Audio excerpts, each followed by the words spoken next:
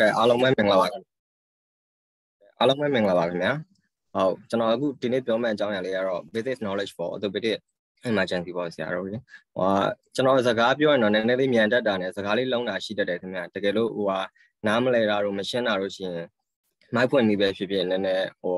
လက်ပဲထောက်ပြီးပဲဖြစ်ဖြစ်မေးလို့ရပါတယ်ခင်ဗျာဒါမှမဟုတ်အားလုံးပြီးမှလည်းပြန်မေးရင်မေးလို့ရပါတယ်ခင်ဗျာကျွန်တော်တက်နိုင်သမျှတော့ထိန်းပြောပေးပါမယ်ခင်ဗျာ အဲ basic knowledge for orthopedic emergency ပေါ့အဲ့တော့ကျွန်တော်ပြောမယ့်အကြောင်းရင်းမှာ emergency ဆိုတာဘာလဲပေါ့ emergency ဆိုတာတော့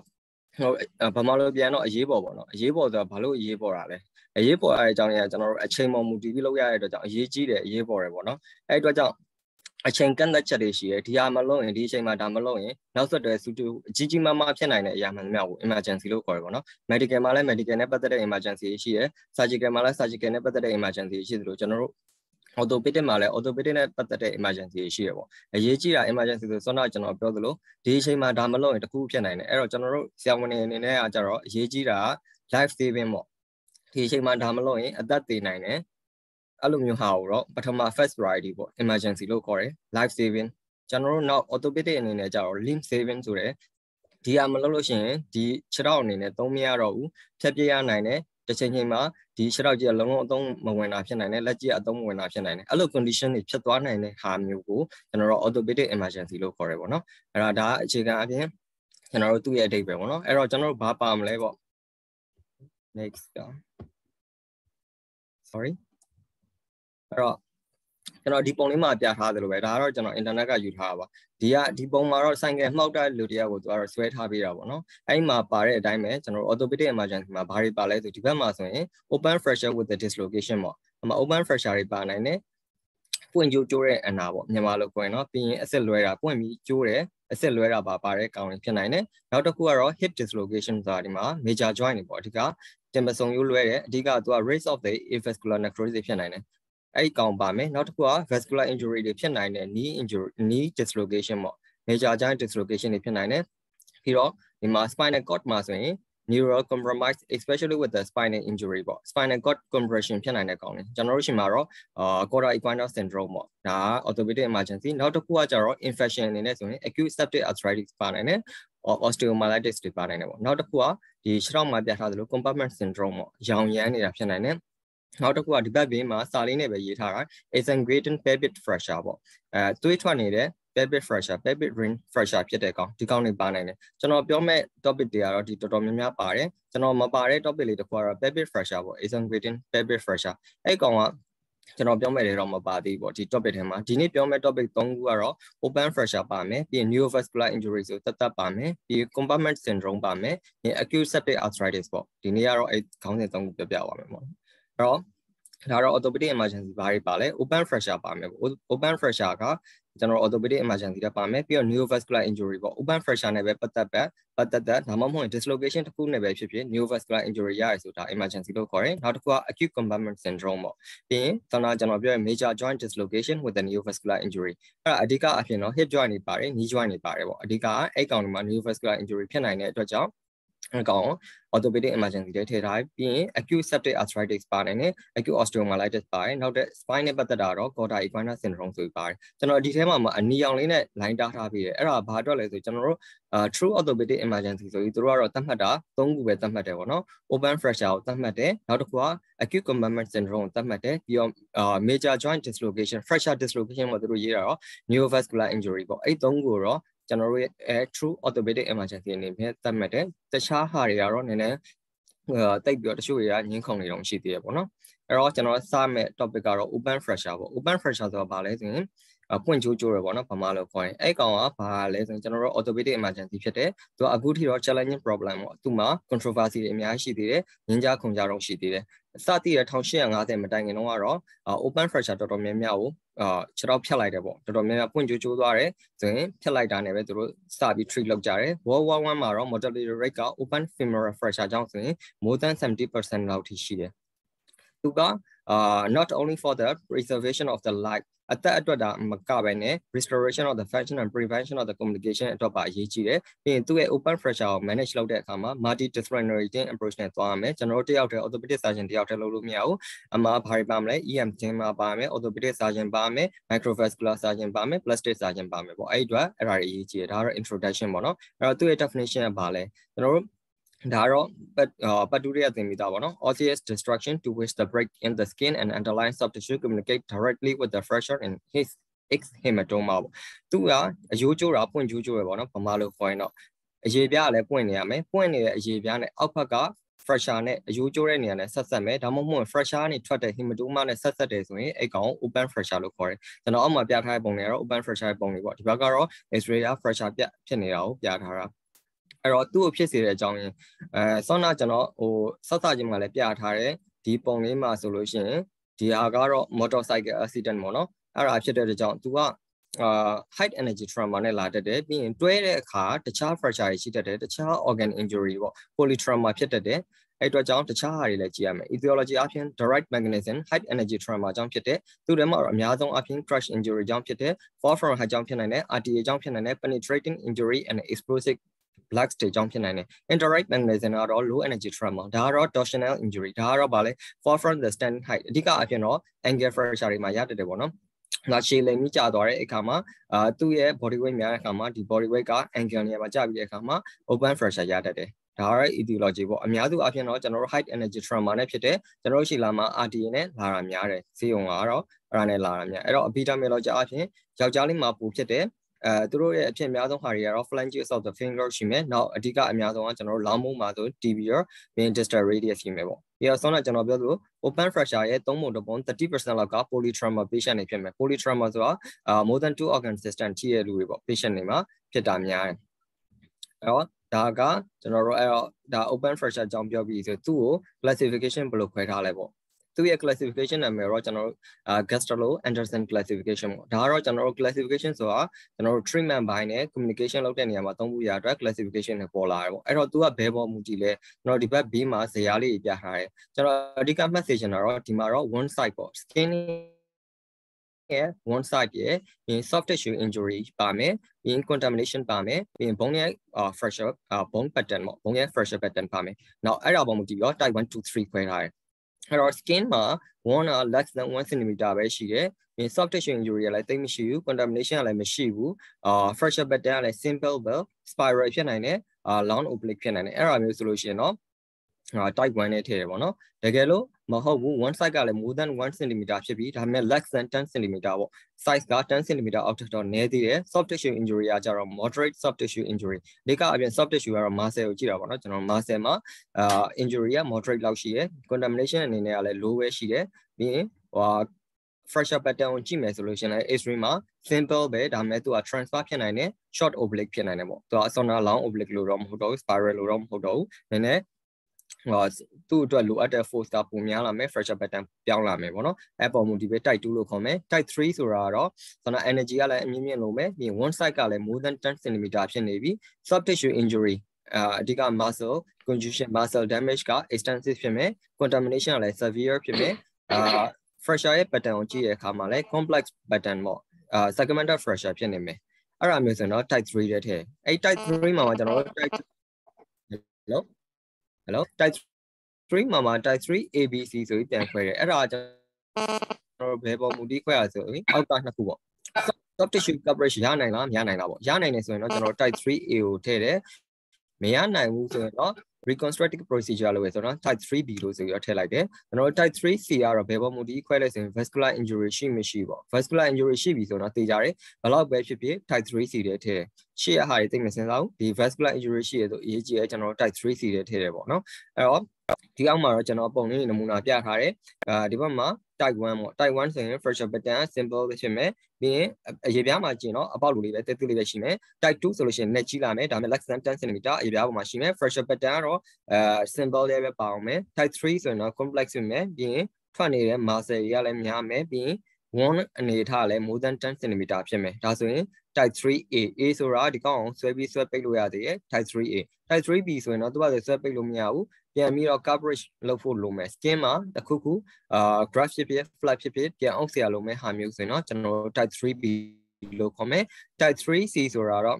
ကျွန်တော်တို့ဟောအနားလဲဆိုးမယ်အဓိကအဖြစ် vessel vascular injury ကို extension မှာအဲတွေ့ရမယ်ဒါမှမဟုတ်လို့ရှိရင်ကျွန်တော်တို့ operation လုပ်တဲ့အခါမှာတွေ့ရတဲ့အခါဆိုရင်တော့ type 3C အနေနဲ့သတ်မှတ်တယ်ဒါအဲ့တော့ကျွန်တော်တို့အဓိကအဖြစ် classification မှာအဓိကကြည့်ရမယ့်ဟာက one side ကိုကြည့်မယ် ဒီကျွန်တော်တို့ soft tissue ရဲ့ injury ပေါ့ injury ဆိုတော့ muscle ကြီးဘယ်လောက်ဆိုးလဲပျက်စီးနေလဲ contamination တွေဘယ်လောက်များနေလဲအဲ့ပေါ်မူတည်ပြီးတော့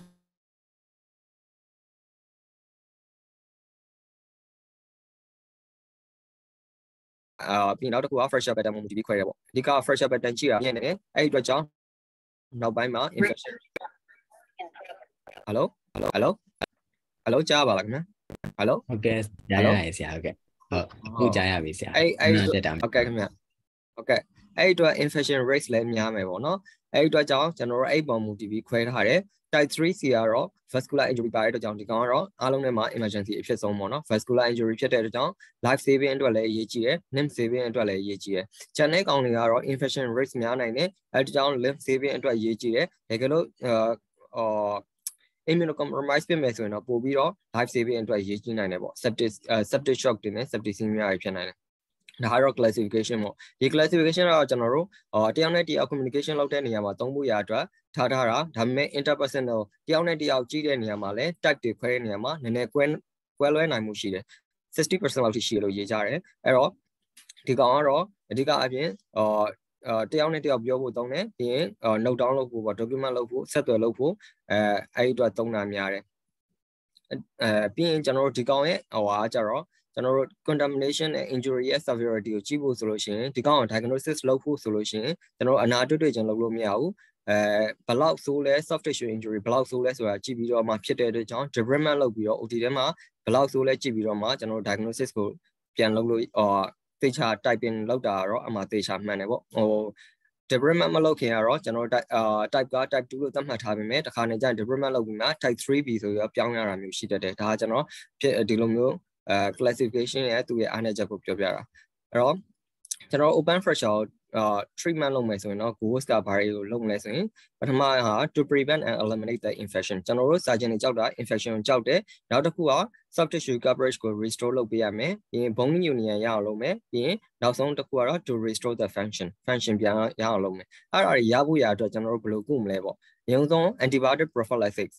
infection ကို eliminate လုပ်ဖို့အာ one healing ကောင်းမှုရ antibiotic prophylaxis လုပ်ရမယ်ပြီးရင် soft အာဂျားတွေကအဲဒီဆောင်းတာ contamination တွေ debridement လုပ်ဖို့ urgent wound and the fracture debridement တွေလုပ်မယ်ပြီးရင် soft tissue coverage အတွက်ကို early definitive wound cover လုပ်ရမယ် fracture အတွက် bone union အတွက်ကိုကျတော့ stabilization of the fracture လုပ်ရမယ်ဒီကောင်နေနဲ့ principle အနေနဲ့လေးချက်အနေနဲ့အစင်လိုက်သွားမယ်ပေါ့နော်အဲ့တော့ကျွန်တော်တို့အာစေးအောင်ရောက်လာမယ်ပေါ့ initial assessment and management ဘာလုပ်မလဲစေးအောင်စားရောက်လာရဲဆိုလို့ရှိရင်တို့ကကျွန်တော်ဆောင်းရှေ့တုန်းကပြောသလို polytrauma patient နဲ့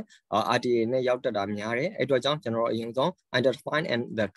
treat the life threatening condition facts အရင်ဆုံးကအသက်အန္တရာယ်ရှိတဲ့ဟာတွေ ဟိုအရင်ဆုံးကြည့်မယ်ပေါ့အရင်ဆုံး ATRS guideline primary survey လုပ်မယ်ပြီးတော့မှကျွန်တော်ဆုံးတော့အာ surgery မှာ billion last မှာပါတဲ့အတိုင်းဟော deadly dozen ပေါ့အဲ့ကောင်ဖြစ်စေတဲ့ကောင်တွေအရင်ဆုံးကြည့်မယ်သူတို့ရှိမရှိသူတို့ရှိရင်သူတို့ treat လုပ်မယ်သူတို့ပြီးတော့မှကျွန်တော်တို့ orthopedic evaluation and the management should begin as soon as immediate life threatening condition have been stabilized သူတို့ stable ဖြစ်ပြီဆိုမှကျွန်တော်တို့ orthopedic evaluation and management ကိုစလုပ်တင်တယ်အမှစလုပ်မယ်ဆိုရင်ကျွန်တော်တို့ systematic inspection of the each lane is critical ပေါ့အရေးကြီးတယ်သေချာကြည့်ရမယ်ခြေတော့ခြေတော့ဆိုလဲခြေတော့တစ်ဖက်ရှင်သည်ရှင်းတော့ကြည့်ရမယ်လက်ဆိုလဲ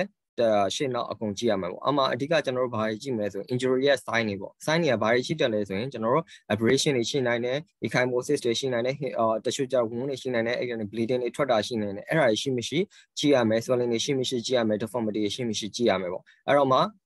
အာတော်တော်များများကျွန်တော်တို့အာ polytrauma ဖြစ်တဲ့အတွက်ကြောင့်တချို့လူတွေကသတိမရတာသတိမရှိတာအာအဲ့ဒါမျိုးတွေဖြစ်တဲ့ကြောင့်ကိုကအဲ့ဒါတွေသတိထားပြီးကြည့်ပြရမယ်အဲ့တော့မှတ်မယ်ဟာ dimension တို့ location တို့ဘယ်နေရာမှာဖြစ်တာလဲဘယ်လောက် size ကဘယ်လောက်ရှိလဲ degree of the soft tissue involvement of the open one open one ရဲ့အနာဘယ်လောက်လောက် soft tissue involvement ဘယ်လောက်လောက်ဖြစ်လဲဆိုတာကိုကျွန်တော်တို့ fracture ကို reduction မလုပ်ခင်ပြီးတော့ဒါမှမဟုတ် split မခံခင်မှာဒီကောင်တွေမှတ်သားတင်တယ်ပေါ့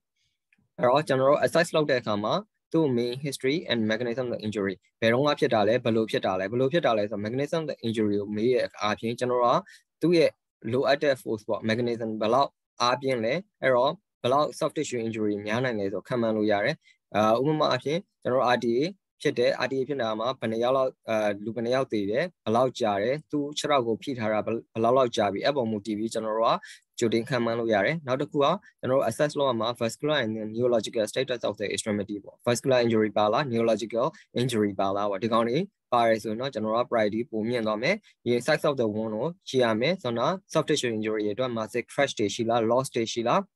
မင်း periosteal stripping တွေရှိလား bone necrosis တွေရှိလားပေါ့နောက် fracture pattern တွေရှိရမယ် contamination တွေရှိရမယ်မင်း compartment syndrome ရှိလားပေါ့ဒါတွေအရေးကြီးတယ် assess လုပ်ရမယ်အဲ့တော့ကျွန်တော်တို့အရေးပေါ်ရောက်လာပြီဆိုရင်ကျွန်တော်တို့ဘာစောက်လုပ်မလဲဆိုရင်လူနာကိုဖြစ်တဲ့နေရာဆိုတော့ကျွန်တော် trauma sign တွေတွေ့ပြီ open fracture ကိုအော်ပွင့်နေတဲ့အနာကြီးလည်းတွေ့ရကျိုးနိုင်ကျိုးတဲ့ပုံစံမျိုး swelling တွေလည်းရှိရ deformity တွေလည်းရှိပြီဆိုကျွန်တော်ဘာလုပ်လဲဆိုရင် အာသူ့ဓာတ်ပုံရိုက်တယ်ပေါ့ဓာတ်ပုံရိုက်တော့မှမှအာအနည်းဆုံးတော့2 view ရိုက်တယ်ပေါ့အပေါ်ကရိုက်တယ် lateral view ရိုက်တယ်အဓိကတော့ one on တွေ့အောင်နဲ့သူ့ရဲ့အနေထားဘယ်နေရာမှာဖြစ်တယ်ပြီးရင် proximal distal ပေါင်ရိုက်မယ်ဘာလို့ရိုက်တာလဲဆိုလို့ရှိရင် minimize the multiple examination ခဏခဏမဆန်းပြအောင်ဘာလို့လဲဆိုတခါကျွန်တော်တို့အဲဒီဟာစမ်းပြီးပြီးပြုတ်ပြီးပြီဆိုရင်အနာကိုပြန်ဖုံးရမယ်ဘာလို့ infection ဝင်နိုင်တယ်ပြီးလေလေတဲ့ဟာတွေဝင်နိုင်တယ်ပြန်ပြီးပြန်ဖွင့်တယ်ဆိုရင် emergency မှာဖွင့်တယ်ဆိုရင်အော် infection ဝင်မှု risk က3လေးစားမြင့်သွားတယ်အဲ့ဒီအတွက်ကြောင့်သူ့အရင်ဆုံးဓာတ်ပုံရိုက်မယ်အဲပြီးတော့မှ examination လုပ်မယ်ပေါ့ examination လုပ်မယ် examination လုပ်တဲ့အခါမှာရှေ့ရဟာတွေ assess လုပ်မယ်ပေါ့ပြီးရင်တော့အနာကိုရေဆေးမယ် irrigation လုပ်မယ်ပြီးရင် one dressing လုပ်မယ်ကျွန်တော်တို့ OT ထဲမှာ debridement မလုပ်ခင်အဲ့တော့ uh one uh irrigation တွေ debridement တွေဘယ်လိုလုပ်မလဲဆိုရင်တကယ်လို့ gross debridement တွေရှိရအပေါ်မှာ mic တွေသဲတွေရှိတယ်ဆိုရင်အဲ့ကောင်တွေဖယ်ထုတ်လို့ရတယ်ပြီးရင်နေတန့်သွားပြီဆိုလို့ရှိရင်တော့ sterile slime ဆုပ်လုပ်ထားတဲ့ dressing လေးအနာပေါ်မှာအုပ်မယ်အုပ်ပြီးရင် sauna fresher ရှိရဆိုရင်အဲ့တော့ကောင်း reduce လုပ်မယ်ပြီးရင် spin ပေါ်မှာတင်ထားမယ်ပေါ့ပြီးရင်ကျွန်တော်တို့က distal neovascular status ကိုအာအာစပြီးတော့ reduction မလုပ်ခင်က reduction လုပ်ပြီးတဲ့အခါမျိုးမှာ document လုပ်တင်တယ်ပေါ့ဒီဘက်ကပြထားတဲ့ပုံလေးကတော့ကျွန်တော် Thomas Flint ပေါ်မှာတင်ထားပါဒါ Thomas Flint လို့ခေါ်တယ်အဲကောင်အဓိကအဖြစ်တော့ fresher အာ female fresher မှာသုံးတာများတယ်ပေါ့သူကထိတ်ကနေပြီးတော့ pelvic မှာထောက်ထားတယ် ပြီးတော့အောက်ထိခြေထောက်တစ်ခုလုံး weight ကိုထမ်းထားပြီးတော့အဲ့တော့ကြောင့် female fresher ကို stabilize လုပ်ပြီးတယ်အဲ့ဒီ splint ကဘာအားတာချက်ရှိလဲဆိုကျွန်တော်တို့တခုခု splint လုပ်တယ်ဆိုတော့ရည်ရွယ်ချက်ကအာလူနာကို transport လုပ်တဲ့နေရာမှာလည်းအရေးကြီးတယ်ပြီးတဲ့အခါမှာကျွန်တော်တို့အဲ fresher ကြီးကကျိုးနေတဲ့အခါမှာလှုပ်တုပ်လှုပ်တုပ်ဖြစ်တယ်ဆိုရင် beer soft tissue ကိုလည်း injury ပိုရစေတယ်ပြီးရင်အာအာတကယ်လို့ ဟိုအဲ့ fresher piece ကနေ vessel ကိုသွားထုံးမိရဆိုလို့ရှိရင် vascular injury ထပ်ရစေနိုင်တယ်ပြီးရင်သူ့ရဲ့ pain ကိုလည်းပိုဆိုးနိုင်တယ်ပေါ့ fresher သွားပြီးတော့ soft tissue ဟိုဖြစ်တဲ့အတွက်ကြောင့်အဲ့ဒီကြောင့်ကျွန်တော်တို့က splint လုပ်ပေးခြင်းအပြင်သူ့ရဲ့ pain ကိုလည်းတတ်တာတယ်ကျွန်တော်တို့ transport လုပ်တဲ့နေရာမှာလည်းဟိုအဆင်ပြေတယ်နောက်တစ်ခုကကျတော့ vessel injury ပါထပ်ပြီးတော့ရရမယ့်ဟာကိုလည်းကောက်ွယ်ပြီးသားဖြစ်တယ်တော့ emergency management မှာ ဘာလုပ်ရမလဲဆိုရင်ကျွန်တော်တို့ IV umbilical antibiotic စထိုးမယ်ပေါ့အဲ့ကောင်က as soon as possible within the 3 hour after the injury အဲ့ကောင်ကအရေးကြီးတယ်ကျွန်တော်တို့ဒီ open fracture မှာ antibiotic စထိုးမယ်ဟာအရေးကြီးတယ် as soon as possible within the 3 hour after the injury အဲ injury ရပြီး3နာရီအတွင်းထိုးနိုင်ရင်ပိုကောင်းတယ်ဘာလို့လဲဆိုကျွန်တော်တို့က open fracture ဖြစ်ပြီးဆိုရင် infection ဝင်မှု chance ကများတယ် infection ဝင်ပြီးတော့ 9နာရီလောက်ကြာလို့ရှိရင် biofilm formation ဆိုတာဖြစ်လာတယ် biofilm formation ဖြစ်ပြီဆိုရင် antibiotic ပေးတဲ့အခါမှာတိတ်ပြီးတော့ effective မဖြစ်တော့ဘူးအပေါ်ကနေရေးဆေးတာ debridement လောက်တာတော့မှတိတ်ပြီး effective မဖြစ်တဲ့အတွက်ကြောင့်အာ3 hour အတွင်းမှာ umbilical antibiotic ဝင်ဖို့လိုမယ်ပြီးတော့နောက်တစ်ခုက tetanus prophylaxis ထိုးဖို့လိုမယ်ပြီးရင် pain ကို control လုပ်ပေးဖို့လိုမယ်အောက်ကဟာလေးကတော့ပြထားတာကျွန်တော် tetanus ဟိုပါပေါ့ immunoglobulin နဲ့အဲ tetanus toxoid နဲ့ဘယ်ဘယ်လိုလိုမှာဘယ်လောက်ထိုးမလဲပေါ့လူလဲဆိုတဲ့ဟာကိုပြထားတာပဲအဲ့တော့ကျွန်တော်ကြော်လိုက်မယ် နောက်တစ်ခုက antibiotic ထိုးမယ်ပေါ့ဆောနာပြော antibiotic ကဘာလို့ထိုးရလဲဆို reduce the risk of the infection by the 59% antibiotic ထိုးတဲ့အတွက်ကြောင့် infection risk ကိုချော့ရှာတယ်ဒါပေမဲ့ antibiotic prophylaxis regime ဘာကိုဘယ်လိုထိုးမလဲ duration ဘယ်လောက်ကြာကြာထိုးမလဲ timing ကဘယ်လိုထိုးမလဲဆိုတဲ့ဟာကို infection risk ကိုချော့ရှာဖို့ဆိုတော့အခုထိတော့ controversy ဖြစ်တော့မယ်အဲ့တော့အာဒါတော့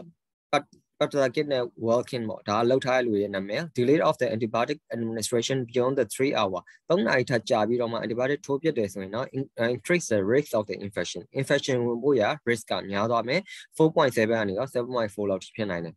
နောက်တစ်ယောက်ကတော့ no statistical significant difference between the one day course of their first generation cephalosporin compared with the 5 day course ဒါကတော့ duration ဘယ်လောက်ပေးမလဲပေါ့ duration တစ်ရက်ပေးတာနဲ့9ရက်ပေးတာနဲ့တော့ significant difference မရှိဘူးဆိုတော့တယောက်ကပြောထားတယ်အဲ့ဒီအတွက်ကြောင့် duration ဘယ်လောက်ပေးမလဲဆိုတာပြီးရင် timing ဘယ်လိုပေးမလဲပြီးရင်ဘာ antibiotic ပေးမလဲဆိုတာတော့အခုထိပြောလို့မရဘူးဒါပေမဲ့သေချာတစ်ခုကတော့ antibiotic ကို3 hour အတွင်းပေးလို့ရှိရင် infection risk ကိုတိတိတတ်တာ short ရှာရဲဆိုတော့သိကြရပါတော့အားတခုအဲ့တော့ antibiotic ကပေါ့ as soon as possible ပြီးမယ်အဲ့တော့ဘာတွေပေးမလဲဆိုရင်ဒါကတော့သူတို့မှာသတ်မှတ်ထားတဲ့ gastro type 1 and 2ဆိုရင်တော့ first generation cephalosporin ပေးမယ် cefal uh cefazolin 1 gram ကို intravenously ပေးမယ် every 8 hours for the 48 hours ပေါ့နောက် clindamycin or vancomycin ဒီလို allergy ရှိရဆိုတော့ဒါသုံးနိုင်တယ် type 3ဆိုတော့ first generation cephalosporin မှာ aminoglycoside ဒါမှမဟုတ် third generation cephalosporin ပေးလို့ရတယ်ဒီလို fun injury ဒါမှမဟုတ် possible bowel contamination ဆိုရင်တော့ anaerobic အတွက်ကို penicillin ထည့်မယ်ပေါ့ clostridium clostridium အတွက်ပေါ့ ဒါကတော့ now British BOA ပေါ့ British Orthopedic Association နဲ့သူတို့သတ်မှတ်ထားတဲ့ form ပေါ့နော် type 1ဆိုရင်တော့သူတို့က as soon as possible within the 3 hour မှာ co-moxiclax ထိုးတယ် debridement မှာဆိုရင် co-moxiclax နဲ့ janta ထိုးမယ်အာ definite one cover သူကတခါလေးလုပ်တဲ့အတွက်ကြောင့်မလို့ဘူးအာ maximum period ကတော့24 hour ပေးတယ် type 2မှာဆိုရင်တူတူပဲ co-moxiclax ပေးမယ် debridement လုပ်တဲ့အခါမှာ co-moxiclax နဲ့ janta ပေးမယ်သူကလည်း ဟို one cover ရော usually possible ဖြစ်တဲ့ကြောင့်မလို့တကယ်လို့နောက်မှ one cover လုပ်မယ်ဆိုရင်တော့ gentamicin နဲ့ vancomycin ပေးမယ်ပြီးရင်အာသူကတော့ maximum period က72 hour သုံးလို့ရတယ် type 3A ဆိုရင် one cover နောက်မှလုပ်မယ်အော်ရှေ့ရပေးတာတွေတော့အတူတူပဲ comocyclab ပေးမယ် debridement မှာ comocyclab နဲ့ gentamicin ပေးမယ်တကယ်လို့ one အာ one cover usually possible ဖြစ်တဲ့ကြောင့်အာ ဟိုဟာမလို့တကယ်လို့နောက်မှလုပ်မယ်ဆိုရင် gentamicin နဲ့ vancomycin ပေးနိုင်တယ်အာ maximum period ကတော့72 hour ပေးမယ် type 3ပေါ့ type type 3C ဆိုလို့ရှိရင်တော့ comocy comocyclab comocyclab နဲ့ gentamicin debridement မှာတူတူပဲနောက်တစ်ခုက definitive fracture cover ဆိုရင် gentamicin နဲ့ vancomycin ပေးမယ်နောက်တစ်ခုက maximum period ကတော့72 hour သူတို့မှာကြည့်လိုက်ရင်အာ type 1တခုပဲ24 hour ပေးတယ် duration period က type 2နဲ့ type 3A type 3B type 3C အကုန်လုံးက72 hour ပေးရပေါ့အဲ့တော့72 hour ပေးတဲ့အာသူ protocol နဲ့ပဲသူတို့ကသွားတယ်အဲ့တော့ local antibiotic ပေါ့ကျွန်တော်တို့အာ systemic မဟုတ်ဘဲ local local ထိုးရဲဆိုရင် local အထက်ထဲကိုထည့်တယ်ပေါ့အနာထဲထည့်တယ်ဆိုတာ high concentration ရရကျင်တဲ့အတွက်ကြောင့်လုပ်တယ်ဒါပေမဲ့ Osterman at all အားတော့ဘာကိုပြောလဲဆိုရင် patient treated with the combined local နဲ့ systemic ကကြတော့ infection rate ကို3.7 compared with the 12.1% systemic alone systemic alone ထက်ဆိုင်တော့ဒီလောက်ကို significant lower ဖြစ်တယ်ပေါ့ optimal line တော့အဲ့တော့ဘယ်လောက်သုံးမလဲအာ antibiotic big day spacer ဘယ်လောက်သုံးလဲဆိုတော့တိတိကျကျမသိသေးဘူးအကုန်လုံးငင်းငင်းခုန်နေကြတော့ရှိသေးတယ် controversial ရှိသေးတယ်ပထမဆုံးက antibiotic အကြောင်းပြီးပေါ့ antibiotic ပြီးရင်ကျွန်တော်တို့ဘာလုပ်ရမလဲဆိုရင် one နဲ့ fresher ကို debridement လုပ်ရမယ် debridement လုပ်တဲ့အခါမှာရေးကြည့်တာ infection ကို prevent လုပ်မယ် ပြီးရင် healing ကို promote ဖြစ်အောင်လုပ်ပေးမယ်ပေါ့အဲ့တော့ကျွန်တော်တို့ debridement လုပ်တဲ့ရွေချက်ကကျွန်တော်တို့ foreign material တွေရှိရင် detect လုပ်မယ် removal လုပ်မယ်အာတရွက်တွေရှိရတော့ဒါမှမဟုတ်စီတို့အဲအဲ့ဒါတွေပါရှိရင်အဲ့ကောင်တွေကိုချွတ်တာချွတ်မယ်အာစေတနာစင်ပဲဖဲတင်တာဖဲမယ်ပြီးရင် detection and removal of the non viable tissue ကျွန်တော်တို့ non viable tissue တွေ mastery မကောင်းတာရှိရင်သူ detect လုပ်မယ် remove လုပ်မယ် ပြီးရင် contamination bacterial contamination reduction လုပ်မယ်ဘယ်လိုနည်းဖြင့်လုပ်မလဲရေးစေးမယ်ပေါ့ဘယ်လိုစေးမလဲပြီးရင် creation of the one that can tolerate the residual bacterial contamination အာ bacterial contamination နည်းတဲ့ one တစ်ခုဖန်တီးမယ်ပြီးရင် infection မရှိဘဲနဲ့ healing ရအောင်ဒီရွယ်ချက်နဲ့ကျွန်တော်တို့ debridement လုပ်မယ်ပေါ့အဲ့တော့ debridement လုပ်တဲ့အခါမှာ perform adequately resuscitated and physiologically stable for the surgery ဘယ်အခါမှာလုပ်မလဲဆိုရင် physiologically stable ဖြစ်တဲ့အခါမှာ debridement လုပ်မယ်ပေါ့အဲ့တော့ one debridement လုပ်တဲ့ principle ဒါကတော့ one မှန်သမျှ debridement လုပ်ရင်ဒီလိုအတိုင်းပဲလုပ်မယ် one ကိုကျွန်တော်တို့လိုအပ်ရင် extend လုပ်မယ် longitudinally လုပ်မယ်ပြီးရင် zone of the injury ကို assess လုပ်မယ် injury zone ဘယ်လောက်လောက်ရှိလဲအဓိကကကျွန်တော်တို့အပြင် skin မှာအနာသေးပေမဲ့အထက်မှာ muscle injury များတတ်တယ်အဲဒီတော့ကြောင့် extend လုပ်မယ်အများစုအဖြစ်တော့အပေါ်နဲ့အောက်နဲ့ကို extend လုပ်တာများတယ်အဲတော့ extend လုပ်မယ်ပြီးရင်တွေ့ရ muscle မှာ developed tissue တွေရှိရဆိုရင်သူ excise လုပ်မယ် foreign body တွေ foreign material တွေရှိရဆိုရင် removal လုပ်မယ်ဒီအပိုင်း layer သွားမယ် skin ကနေအောက်ကိုသွားရင် fascia fascia ပြီးရင် muscle muscle ကနေရအောက်ဘက်ကိုဆိုလို့ရှိရင် bone ထိအောင်ရအောင် layer by layer စောနာပြောရဲ defertilized tissue ရရှင်ကျွန်တော်တို့ excise လုပ်မယ် foreign body ရရှင် removal လုပ်မယ် muscle အဲ skin ပြီးသွားရော skin ပြီးရောအောက်မှာ muscle ရဲ့ viability ကိုဘယ်လိုကြည့်မလဲဆိုရင်ကျွန်တော်တို့ 4C နဲ့ကြည့်ရယ် 4C ဆိုတာ contractibility ရှိမယ်အာ contract လုပ်နိုင်တာပေါ့တို့ကြည့်တယ်သူက muscle ကပုံမှန်အဖြစ် variable ဖြစ်တယ်ဆိုရင် contract လုပ်မယ် color ကလည်း flashy ဖြစ်နေရမယ်ကြည့်လိုက်ရင်စိုးနေမယ်ဒါမှမဟုတ်အယောင်ကညှိုးနေပြီဟောဖြစ်နေပြီဆိုလို့ရှိရင်မကောင်းဘူး non variable ဖြစ်ပြီး consistency ကလည်း fun ဖြစ်ရမယ်ပြီး capacity to bleed အာ လောက်ကြည့်လို့ရှိရင်လည်း bleeding ထွက်ရမယ်အဲ့လိုမျိုးဆိုလို့ရှိရင်တော့ variable ဖြစ်တယ်ပေါ့ဒီလိုမျိုး variable ဖြစ်တဲ့ဟာဆိုရင် target မယ်တကယ်လို့မဟုတ်ဘူး non variable ဆိုရင်တော့ account တွေ exact လုပ်မယ် vessel nerve တွေ tendon တွေဆိုရင်တော့ preserve သူတို့ကိုတက်နိုင်များ preserve လုပ်မယ်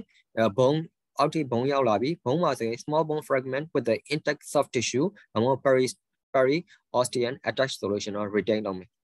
bone piece တွေက soft tissue တွေနဲ့ attach လုပ်ထားတယ်။နောက် periosteum နဲ့ attachment ရှိသေးတယ်ဆိုတော့သူ့ပြန်ထည့်မယ်ပေါ့။သူက variable ဖြစ်နိုင်တယ်။တကယ်လို့မဟုတ်ဘူး heavily contaminated bone piece without the soft tissue attachment ဘုံကလည်း heavily contaminated ဖြစ်နေပြီ soft tissue attachment လည်းမရှိတော့ဘူးသူက variable ဖြစ်နိုင်တော့ဆိုရင်တော့ remove လုပ်မယ်ပေါ့ဒါကလို့ articular fragment ဆိုတော့ဘယ်လိုပဲဖြစ်ဖြစ် thoroughly cleanse လုပ်မယ်ပြီးရင် retain repeated debridement at the 48 to 72 hour interval in the high grade injury severe contamination and the questionable tissue variable Articular articular fragment ဆိုရင်တော့တဏ္ဍာများတန်ရှင်းလုပ်မယ်ပြင်သူ့ကိုပြန်ပြီးပြန်သိမ့်မယ်ကျွန်တော်တို့ပြီးအနာတန်ရှင်းလုပ်တာ development လုပ်တာဘယ်ခါ second လောက်ပြန်ကြည့်မလဲဆိုရင်ပုံမှန်အဖြစ်48 to 72 hour နှစ်ရက်ကနေ3ရက်နေတစ်ခါပြန်ပြီးကြည့်မယ်ဘလို့အနာတွေမှာကြည့်မလဲဆိုရင် high grade ပေါ့ type 3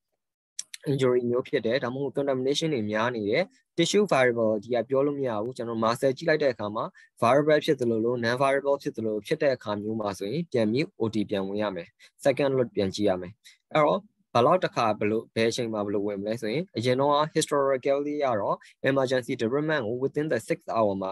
ဝင်တင်တယ်ပေါ့သူတို့ကအဲ့လိုမျိုးအရင်ကသတ်မှတ်ခဲ့တယ်ဒါပေမဲ့ current literature တွေမှာတော့အာ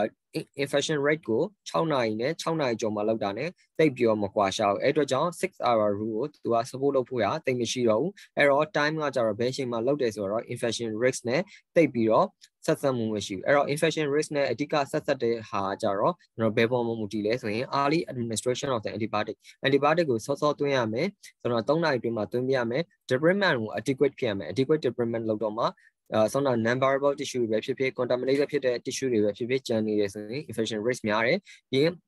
soft tissue coverage ကိုဘယ်အချိန်မှာ skin ကိုဘယ်အချိန်မှာ cover လုပ်ပေးနိုင်မလဲပေါ့ soft tissue cover လုပ်ပေးနိုင်မယ်အဲ့ပေါ်မူတည်ပြီးပဲ infection ကအာဖြစ်မလားဘယ်လောက် percentage ဖြစ်မလဲဆိုတာမူတည်တယ်အဲ့တော့3 factor address uh, sufficiently minor delay in the surgery could be tolerate အနည်းငယ်နောက်ကျတာ surgery development လောက်တာကိုတော့သူတို့က tolerate လက်ခံနိုင်တယ်ဒါပေမဲ့ဘယ်ခါမျိုးမှာဆိုရင်တော့အရေးပေါ်လို့လဲဆိုရင် uncontrollable bleeding ဖြစ်တယ်ဒါမှမဟုတ် compartment syndrome ဝင်တယ်ဒါမှမဟုတ် vessel injury ဖြစ်တယ် severe high energy injury ဖြစ်တယ်ဆိုလို့ရှိရင်တော့သူ့ကို emergency surgical option ပို့ပြီးတော့ဟို emergency လို့ရပေါ့6 hour အတွင်းမှာလုပ်မယ် အဲ့တော့ကျွန်တော်တို့အပေါ်အပေါ်ရန်ရေပြအနာ superficial characteristic alone are often misclassified classifying type ပင်မှားနိုင်တယ်အနာလေးတိတိလေးဆို type 1စီအထင်သိလို့မရဘူးအောက်မှာကျင်း soft tissue infection များ soft soft tissue injury များတာဖြစ်နိုင်တယ်အဲ့တော့ failure to adequately exposure and debrief in the operation run associated with the uh, substantial risks အနာသေးရဆိုအောက်မှာ soft tissue injury များလို့များလို့သူက adequately expose မလုပ်လိုက်ဘူးဆိုရင်အဲ့ကောင်ကနေစပြီးတော့ infection risk တွေများနိုင်တယ်နောက်ပိုင်းမှာ life threatening တို့ less threatening တို့ဖြစ်နိုင်တယ်အဲ့တော့ throughout operated debridement should be considered the standard of care for all the open fracture open fracture မှန်သမျှကိုသေချာစွာ throughoutly operated debridement လုပ်ဖို့လိုမယ်ပေါ့နော်အဲ့တော့ tonic weight 3ပါမသုံးလားပေါ့ကျွန်တော်တို့အများစုက tonic weight 3ကြတာများတယ်ဒီလိုနေရာတွေမှာတော့ many prefer because of the သွေးမထွက်ရှင်သွေးထွက်ရင်ကျွန်တော်တို့လောက်ရတာရှုပ်တဲ့အတွက်ကြောင့် tonic weight 3ကြတာများတယ်ဒါပေမဲ့အာ badly injury ဖြစ်နေတဲ့အာထိကြိုက်တာဆိုးတဲ့ဟာမျိုးမှာဆိုရင် ischemia ကိုပိုဆိုးစေမယ်ငကိုတွေက ischemia ဆိုးနေတဲ့နေရာမှာကျွန်တော်တို့ tonic weight သုံးလိုက်ရင် ischemia ပိုဆိုးစေမယ်ပြီးရင်ကျွန်တော်တို့ tonic weight စီးထားရဲဆိုရင်သွေးမြောက်တဲ့အခါမှာ devitalized tissue ဘယ်ဟာတွေကတော့ အာအသက်မရှင်တော့ဘယ် structure တွေကတော့မကောင်းတော့ဘူးဆိုတော့တေချာကြည့်လို့မရဘူးအဲ့ဒီအတွက်ကြောင့်မလိုအပ်ရင်တော့ anti absolutely necessary မဖြစ်သေးရင်တော့ tonic ကိုပတ်တော့ပတ်ထားပါဒါပေမဲ့ဟော tonic မသုံးပါနဲ့ပေါ့ inflate မလုပ်ပါသေးနဲ့အဲ့တော့ဒါ tonic နဲ့ပတ်သက်ပြီးတော့နောက်တစ်ခုကကျွန်တော် debris လုပ်ရင်လည်းရေဆေးမယ်ပေါ့ irrigation လုပ်မယ် irrigation လုပ်မယ်ဆိုရင်ကျွန်တော်တို့ orthopedic surgeon တွေကတော့ဟိုအရင်ကလက်ခံတာ the solution to the pollution is the dilution အဲညစ်ပင်နေတာကိုရေနဲ့ ပြန်ပြီး dilution လုပ်လိုက်တာပေါ့ရေများများနဲ့ဆေးလိုက်တယ်အဲ့တော့မှသူ့ရဲ့အကောင်ရေလည်းနည်းသွားမယ်အာဟို infection risk လည်းနည်းမယ်ပေါ့အဲ့တော့ကျွန်တော်သတ်မှတ်ထားတာ type 1ဆိုလို့ရှိရင်3 liter လောက်ဆေးရမယ် type 2ဆိုရင်6 liter ဆေးရမယ် type 3ဆိုလို့ရှိရင်9 liter ဆေးရမယ်ဘာရေကိုသုံးလဲဆိုရင် steroid steroid ဖြစ်တဲ့ normal saline for the irrigation ပေါ့အဲ့ကောင်ကိုသုံးမယ်အဲ့တော့ရိုးရိုးရင်တွေပဲဆေးမလားဘယ်လိုဆေးမလဲပေါ့အဲ့မှာ pressure က high pressure သုံးမလား low pressure သုံးမလား high pressure သုံးနေဆိုရင်တော့ကျွန်တော်တို့ ဘုံတွေ soft tissue တွေနဲ့ဘုံ healing တွေကို disturbance ဖြစ်နိုင်တယ်ပြီးရင်ကျွန်တော်တို့ high pressure သုံးလိုက်တဲ့အတွက်ကြောင့်အပြင်မှာရှိတဲ့ bacteria တွေကအနာရဲ့အတွင်းထဲကိုအတွင်းထဲက muscle တွေကြားတွေကိုထိုးသွင်းသလိုဖြစ်သွားမယ်ပြီးရင် bone formation new bone formation ကိုလည်း high pressure တအားပြင်းတဲ့အခါမျိုးမှာသွားပြီး inhibit လုပ်နိုင်တယ်အဲ့ဒီအတွက်ကြောင့်လိုက်တော့မကောင်းဘူးအဲ့တော့နောက် flow trial တခုကလုပ်တယ်အမှ patient က open pressure ရတဲ့အခါမှာ သူက၃မျိုးနဲ့ဆန်တယ်ပေါ့ very low pressure low pressure high pressure နဲ့ irrigation နဲ့ဆန်တဲ့အခါမှာ no significant difference in non union or one complication or reoperation ရောတိတ်ပြီးတိတိတာတာကွာရှာတာမရှိဘူးအဲ့အတွက်ကြောင့်သူတို့ကအာဒီသုံးခုလုံးကအဲတူတူပဲပေါ့အဲ့တော့အများစုလက်ခံထားတာ timely low pressure non pulsatile irrigation with the Copix uh, normal saline solution should be used for the most open pressure အများစုကတော့ Copix normal saline အဓိကတော့ normal saline များများနဲ့အာ low pressure non pulsatile ထိုးသွင်းတာမဟုတ်ဘဲနဲ့ low pressure နဲ့ပဲ timely အာစေးတဲ့အချိန်မှာ irrigate လုပ်တာကတော့ most of the open pressure အတွက်အသုံးပြုတင်တယ်ပေါ့အဲ့တော့နောက်တစ်ခုကတော့ antiseptic solution ပေါ့ကျွန်တော်တို့သိတယ် Lizardine တို့ Clohexidine တို့အဲ့ကောင်တွေသုံးသင့်လားအဲ့ကောင်တွေသုံးသင့်လားဆိုအဲ့ကောင်တွေက bacterial cell wall တွေကို destruct လုပ်နိုင်တယ် cell membrane တွေကို destruct လုပ်နိုင်တယ်အဲ့တော့အာ infection rate ကိုတော့ နှေးတယ်လို့တော့ပြထားတာမရှိသေးဘူးပြီးတော့ကျွန်တော်တို့ကဒီ bacteria တွေကမကဘဲနဲ့ကျွန်တော်တို့ရဲ့ host cell တွေရဲ့ cell တွေရဲ့ cell membrane ကိုလည်းတက်ရောက်နိုင်တဲ့ adversely effects ဖြစ်တဲ့အတွက်ကြောင့်သူတို့တော့ရေထဲမှာထည့်သုံးတာမျိုးမရှိဘူးအဲ့တော့ antibiotic antibiotic နဲ့ရောထည့်စေမလားထည့်စေမလားဆိုတော့ human study မှာတော့ antibiotic နဲ့ဆေးတဲ့ဟာကပုံမှန် standard normal saline ထက်ဆေးတဲ့ဟာထက် ပိုပြီးကောင်းတယ်ဆိုတာပြသမှုမရှိဘူးပြီးတော့သူသုံးခြင်းအဖြစ်လည်း resistant တွေ antibiotic resistant တွေဖြစ်နိုင်တယ်နောက်တစ်ခုက anaphylactic risk တွေဖြစ်နိုင်တယ်အဲ့တော့ antibiotic နဲ့ဆေးတာလည်းမကောင်းဘူးပေါ့နောက်တစ်ခုကတော့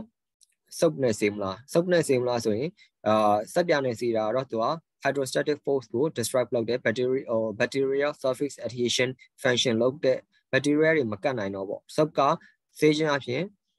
osteoblasts ကို preserve လုပ်တယ်ပြီးရင် greater number of the bacteria တွေကိုအာ remove လုပ်နိုင်တယ်အဲ့တော့ကြောင့်သူကတော့ useful for the all the pressure with the visible contamination contamination တွေများနေတယ်မာစီကြီးတွေများနေတယ်ဆိုမျိုးဆိုရင်တော့ surfactant or soap ဆက်ပြနဲ့ဂျင်းနဲ့ဆေးလို့ရတယ်အဲနောက်တစ်ခုကဒါကတော့ debridement နဲ့ irrigation ပေါ့အဲ့ဒါပြီးပြီဆိုရင်တော့ကျွန်တော်တို့ soft tissue coverage ပေါ့ one coverage အတွက်ဘာလုပ်မလဲ early definite one coverage အဲ့တော့ delay ဖြစ်ပြီဆိုလို့ရှိရင်တော့ကျွန်တော်တို့ဆိုတာရှေ့မှာ infection risk ကိုများနိုင်တယ်ဘာလို့လဲ with the nosocomial gram negative microorganism တွေဝင်တဲ့အတွက်ကြောင့်အဲတယောက်ကတော့ပြထားတာတော့ no increase rates of the function with one though one closure was delayed for 5 days 5 days လောက်ထိတော့ delay လုပ်လို့ရတယ်အဲ့ခါဆိုတော့ infection risk အဲတိတ်တက်တာမရှိဘူးเนาะနောက်တစ်ယောက်ကတော့ uh infection risk ကများတယ် flood coverage ကို delay လုပ်တဲ့အခါမှာလို့ပြထားတယ်နောက်တစ်ယောက်ကတော့ uh, did not find the immediate closure to be associated with the high rate of the infection and the non-union coupled with the delay closure delay closure ထက်ဆိုင်တော့ uh, immediate closure ကတိတ်ပြ infection rate များတာကိုတိတ်မပြနိုင်ဘူးအာဒါမဲ့အားလုံးလိုက်ခံတာက early closure of the open pressure recommendation for the routine debridement debridement လောက်တာမှာ early closure လိုအပ်တယ်ပေါ့ one closure ပုံမှန်အဖြစ်တော့ within the 5 days မှာလုပ်တင်တယ်အဲ့တော့ one closure primary ကျွန်တော်တို့တန်ရှင်းလုပ်ပြီးပြီး debridement လုပ်ပြီးသူ့ကိုဆွဲစီးဖို့ရဆွဲရှုပ်မယ်တခါရေးရှုပ်မယ်ဆိုရင် primary one closure လို့ခေါ်ရပါတော့အဲ့ကောင်ကတော့ဘယ်လိုမှလဲဆိုရင် type 1နဲ့ type 2 fracture တွေမှာဆိုရင်တခါရဲဆွဲရှုပ်လို့ရတယ် tension မရှိဘူးဆိုတခါရဲဆွဲရှုပ်လို့ရတယ်တကယ်လို့မဟုတ်ဘူး type 3 fracture ဆိုရင်တော့ debridement ထပ်လုပ်ဖို့လိုတယ်နောက်ပိုင်းမှာတခါပြန်ပြီးတော့ပြန် အာ soft tissue coverage အတွက်စဉ်းစားမှာဖြစ်တဲ့ကြောင့် delay wound closure ထဲမှာထည့်မယ်ဘလို့အနာမျိုးတွေဆိုရင် type 3 open fracture တို့ severe contamination contamination များနေတဲ့ကောင် soft tissue injury များနေတဲ့ကောင်တို့ gunshot wound တို့ပြီးရင် fan and the fresh or the sea water injury အဲ့လိုမျိုးဟာဆိုရင်တော့ delay wound closure လုပ်တင်တယ်ဒါကျွန်တော်တို့ဒီဘက်မှာပြထားတာ one closure လုပ်လို့ရတဲ့ကောင်နဲ့ one closure လုပ်လို့မရတဲ့ကောင်ပေါ့ပုံကတော့ဒီလေး one closure လုပ်မယ်ဆိုရင်တော့အာ delay primary closure က within the uh 5 days အတွင်းမှာလုပ်တင်တယ်ပြီးရင် split thickness skin graft လုပ်လို့ရတယ် flat တွေလုပ်လို့ရတယ်နောက်တစ်ခုကအာ vacant assisted closure VAC လုပ်လို့ရတယ်ပေါ့ကျွန်တော်အောက်မှာပြထားတာဒါတော့ split skin graft ကထားတယ်ပြီးရင်ဒါ muscle flat ပေါ့လုပ်လို့ရတယ်ပြီးရင် VAC တင်လို့ရတယ်ဒါကတော့အောက်မှာပုံလေးမြင်မှုအောင်ပြထားတယ်အဲ့တော့ဒါကတော့ negative pressure one therapy ပေါ့ VAC VAC ကကြတော့သူက one healing အာ sorry one healing ပိုကောင်းစေတယ် အဒီမောက်ရောစေတယ်ပြီးရင်သူကလေနဲ့စုပ်ထားပုံမှန်ပြထားသလိုကျွန်တော်တို့အနာကိုအပွားနေလုံအောင်အုပ်လိုက်တယ်ပြီးရင် pressure နဲ့ဒီကောင်စုပ်ထားတဲ့အတွက်ကြောင့်ဒီကနေပြီးတော့ထွက်တဲ့အရည်တွေကိုသူကစုပ် banding လုပ်ပေးတယ်အထက်ဆက်ထဲကိုထည့်တယ်အလျောင်ဒီကနေရော bleeding uh angiogenesis ကိုလည်းအားပေးတယ်ပြီးရင်ဒီကထွက်တဲ့ edema fluid တွေကိုစုပ်ပေးတယ်အဲ့အတွက်ကြောင့် granulation tissue တွေပိုဖြစ်စေတယ်ပေါ့ဒါပေမဲ့သူ့မှာမသုံးသင့်တဲ့ကောင်တွေရှိတယ် vessel expose ဖြစ်နေတဲ့အခါမှာဒီကနေသွေးထွက်တယ်သွေးအများကြီးထွက်နိုင်တယ်သူက pressure နဲ့စုပ်တာဖြစ်တဲ့အတွက်ကြောင့် more infected area surgically debrid မလုပ်ထားဘဲနဲ့ infection ဖြစ်တဲ့ဟာမျိုးဆိုမသုံးသင့်ဘူးနောက်တစ်ခုက bleeding risk ရှိတဲ့ကောင်တွေပေါ့ coagulopathy တွေဆိုရင်တော့ဒီကောင်မသုံးသင့် contraindication ထဲမှာထည့်ထားတယ်အာနောက် structure မြောက် ကျွန်တော်တို့လုပ်သင့်တာ stabilization of the pressure ပေါ့ pressure ကိုဘယ်လို stable လုပ်မလဲအဲ့တော့ reducing the likelihood of the infection and assisting the recovery of the soft tissue pressure ကို stabilize လုပ်ရှင်အပြင်ကျွန်တော်တို့ infection risk ကိုလည်း short ချနိုင်တယ်ဒီ soft tissue ကိုလည်း recover ပေးဖို့သူ့ကို assist လုပ်သလိုဖြစ်သွားတယ်အဲ့တော့ method of the fixation ကဘယ်လိုလုပ်လို့ရလဲကျွန်တော်တို့ temporary လုပ်လို့ရတယ်ဒါမှမဟုတ် primary definitive fixation လုပ်လို့ရတယ် temporary stabilization ဆိုရင်တော့ကျွန်တော်တို့ external fixator ဆိုတော့အပြင်ကနေတန်တန်းနေလို့ပေါ့ external fixator နဲ့တက်လို့ရတယ် အဲ temporary stabilization ဆိုလို့ရှိရင်ဘယ်လိုဟာတွေမှာလောက်လဲဆိုရင်ကျွန်တော်တို့ delay one cover လို့လိုတဲ့ဟာတွေဥပမာအဖြစ် type 3B တို့ type 3C တို့ polytrauma တို့ဆိုလို့ရှိရင်တော့ temporary stabilization uh of the pressure လုပ်မယ်ပေါ့နော် external fixator တက်မယ်ဒီဘက်ကပုံကတော့ကျွန်တော်တို့ external fixator တက်ထားတဲ့ပုံပြတာ one coverage လည်းမရနိုင်ဘူးအနည်းဆုံးတော့ type 3B ရှိတယ် vascular injury by ဆိုတော့ type 3C လည်းဖြစ်မှာပေါ့အဲ့တော့အာ pressure stabilization အပြင်ကျွန်တော်တို့ဘာလုပ်လို့ရလဲ cast immobilization လုပ်လို့ရတယ် plate တွေထည့်လို့ရတယ် external physical လုပ်လို့ရတယ်နေတွေထည့်လို့ရတယ် minimally invasive surgery လုပ်လို့ရတယ်ဒါကတော့ fracture fixation အတွက်က type 1ဆိုလို့ရှိရင်တော့ close fracture အတိုင်းပဲကုလို့ရတယ်တိတ်ပြီးမလို့ဘူး1ကလည်းအာအာတခါတည်း one closure လုပ်လို့ရတယ် early one closure လုပ်လို့ရတယ် and the upper extremity မှာဆိုတော့ဘာတွေသုံးလဲ casting တွေသုံးတယ် external fixation တွေသုံးတယ် plate and screw fixation တွေသုံးတယ် lower extremity ကတော့အများစုကတော့ intramedullary တွေလည်းသုံးတယ်ပေါ့ type 2နဲ့ type 3တွေကတော့အခုထိတော့ more controversial ဖြစ်နေတော့မယ် type 3B type 3C ဆိုလို့ရှိရင်တော့ survivable ဖြစ်မယ် external fixator is a uh, primary method ပေါ့ external fixator အရင်တတ်တဲ့နဲ့ uh, external fixator preferable even for the stable pressure with the unstable soft tissue pressure တော့ stable ဖြစ်တယ်ဒါပေမဲ့ soft tissue rest ပေးဖို့လိုတယ်အာဆိုပုံစံမျိုးဆိုလို့ရှင်တော့ကျွန်တော်တို့ external fixator တတ်နိုင်တယ်ဥပမာအဖြစ် TB ရော pylon pressure အဲ့လိုမျိုးဆိုရင်တော့ external fixator တတ်တင်တယ်နောက်တစ်ခုကကျွန်တော်တို့ဘုံအတွက်ဘုံ union ရဖို့ရအတွက် adjuvant therapy ဘာ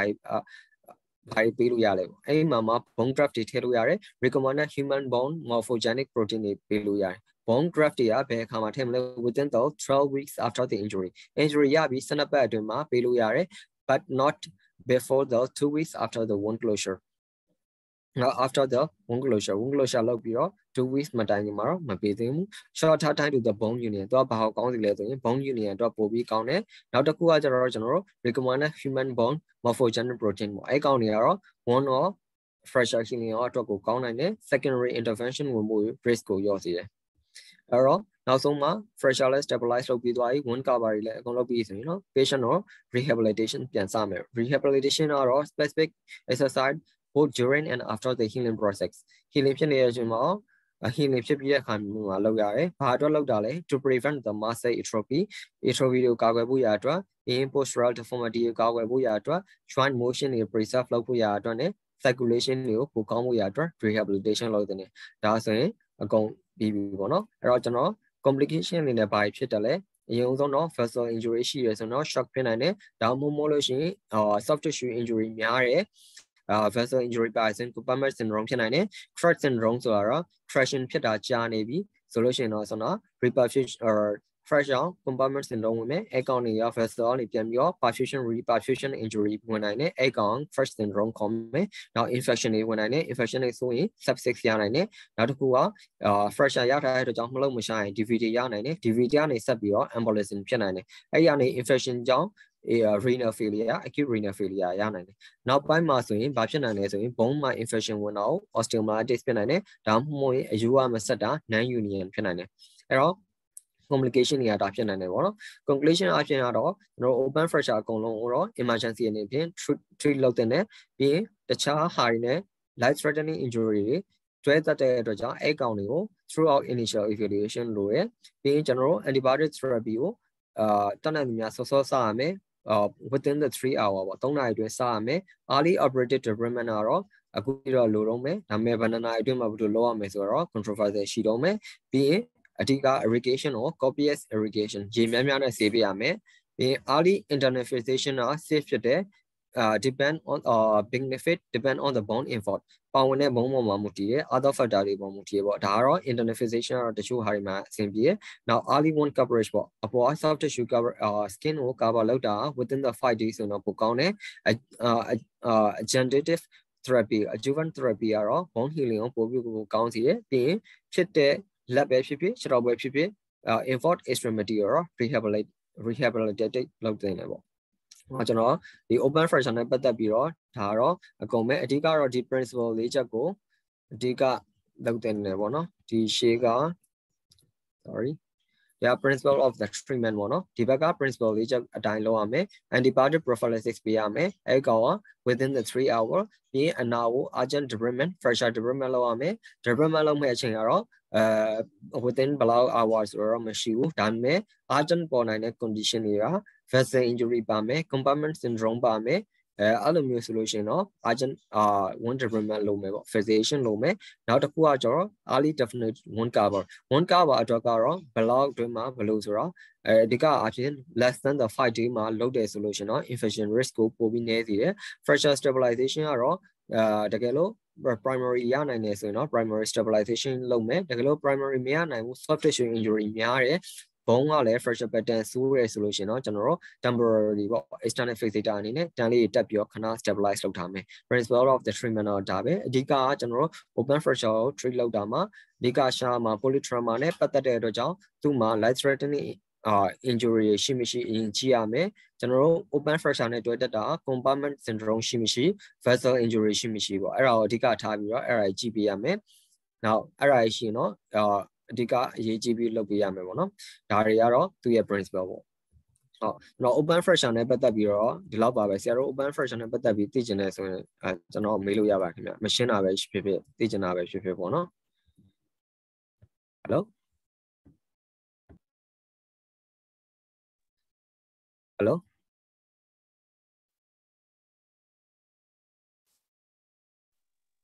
Hello ဆရာဟုတ်မေးခွန်းတော့မရောက်လာပါဆရာဟုတ် ဟုတ်အပြင်နောက်ပြီးမှမေးလဲရခင်ဗျာကျွန်တော်နောက်တစ်ခုသွားလိုက်ပါမယ်ခင်ဗျာဟုတ်ကဲ့ပါဆရာဟုတ်ဒါကကျွန်တော်နောက်တစ်ခုကတော့ neovascular injury ပေါ့ဒါကဘယ်ဟာကြောင့် open fracture နဲ့လည်းပတ်သက်နိုင်တယ်ဒါမှမဟုတ် dislocation ကြောင့်လည်းဖြစ်နိုင်တယ်ပေါ့အဲ့တော့ nerve vessel ထိရဲ့ဟာအဲ့တော့ do not mix extra သူ့တော့မလွတ်တင်ဘူးပေါ့အဲ့တော့သူ့ကိုစမ်းမယ်ဆိုရင်တော့ accurate assessment at the presentation ဖြစ်ဖြစ်ချင်းမှာပဲတေချာစမ်းရမယ်ပြီးရင် ဘယ်အဓိကရေးကြ manipulate လုပ်တဲ့အခါ manipulate လုပ်ပြီးတဲ့အခါမလုပ်ခင်မှာသူ့ကိုတေချာဆန်းရမယ်။ပြီးရင် surgical fixation လုပ်ပြီးလည်းတေချာဆန်းရမယ်။ uh seriously uh serially ဆန်းပြရမယ်။တစ်ခါဆန်းရုံနဲ့မပြီးဘူး။ခဏခဏသွားပြီးကြည့်ပြီးဆန်းရမယ်။ uh, until the condition are stabilized ဖြစ်တဲ့အချိန်ထိ serial examination are helpful in deciding the line of the treatment ဘာလို့တင်လဲဘယ်လို treatment ပေးတင်လဲဆိုတော့ serial examination ကအာတေချာ helpful လုပ်ပေးနိုင်တယ် serial examination က confusion ကိုလည်း avoid လုပ်နိုင်တယ်အဲ့အဲ့တော့အရေးကြီးတာကကျွန်တော်တို့ send ပြီဆိုရင်တခါတည်းနဲ့မပြီးဘူးအခု send low vessel injury sign တွေမပေါ်သေးဘူးမဲ့နောက်ဘက်မှာပေါ်လာတာမျိုးဖြစ်နိုင်တယ်အဲ့တော့ဒီကောင်တွေတော့ miss ပြလို့မလို့မရဘူးသေချာ send ပြရမယ်အဲ့တော့ vas vas new vascular လို့ဘာလို့တွဲပြောလဲဆိုရင် vessel နဲ့ nerve တွေက proximity proximal proximity ပေါ့နော်သူ့ရဲ့ဘေးနားမှာပဲကတ်နေရယ်သူ့ရဲ့ name ဖြစ်တဲ့ကောင်ရဲ့ဘေးနားမှာပဲ ကတ်နေတဲ့အတွက်ကြောင့် nerve တင် vessel ထိဖို့ရာခိုင်နှုန်းများတယ်ပေါ့နော်အဲဒါကြောင့်နောက်တစ်ခုကဘလို့အားဖြင့်ထိနိုင်လဲဖြစ်နိုင်လဲဆို penetrating trauma ဒီမှာထိနိုင်တယ်ဒါမှမဟုတ် high energy penetrate မဟုတ်ဘဲနဲ့ blunt trauma တွေမှာဖြစ်နိုင်တယ်ဒါမှမဟုတ် pressure fragment ကပဲ significantly display ဖြစ်သွားတဲ့အခါမှာ pressure ကနေသွားပြီးတော့ vessel ကိုတော့ပေါက်တာဖြစ်နိုင်တယ်ဒါမှမဟုတ်လို့ရှိရင်တအားရွေ့သွားတဲ့အတွက်ကြောင့် tissue require နဲ့အော်သွားပြီးတော့သူ torsion လုပ်သလိုဖြစ်ပြီးတော့ vessel injury ရတာလည်းဖြစ်နိုင်တယ်အဲ့တော့ ကိုအာ fresher piece ကပြန်တဲ့သွားပြီမဲ့ require ပြန်လုပ်ပြီမဲ့ vessel injury ဖြစ်နိုင်တယ်ဆိုတာကိုစိတ်ထဲမှာမှတ်ထားရမယ်အဲ့တော့ဒီလို magnetism နဲ့ဖြစ်တဲ့ injury တွေမှာဆိုရင်တော့ neovascular injury ကိုဖြစ်နိုင်တယ်ဆိုတော့ခေါင်းထဲထည့်ပြီးတော့ serially examination လုပ်ဖို့လိုတယ်အဲ့တော့ vascular injury မှာဘာတွေဖြစ်နိုင်လဲပေါ့နော် direct laceration ဖြစ်နိုင်တယ်အော် vessel ကြီးက ပြဲသွားတယ်ပေါ့နော်ပြဲထွက်သွားတယ်အဲ့ဒါဆိုရင်တော့တိတာတယ် bleeding ထွက်နေတယ်အော်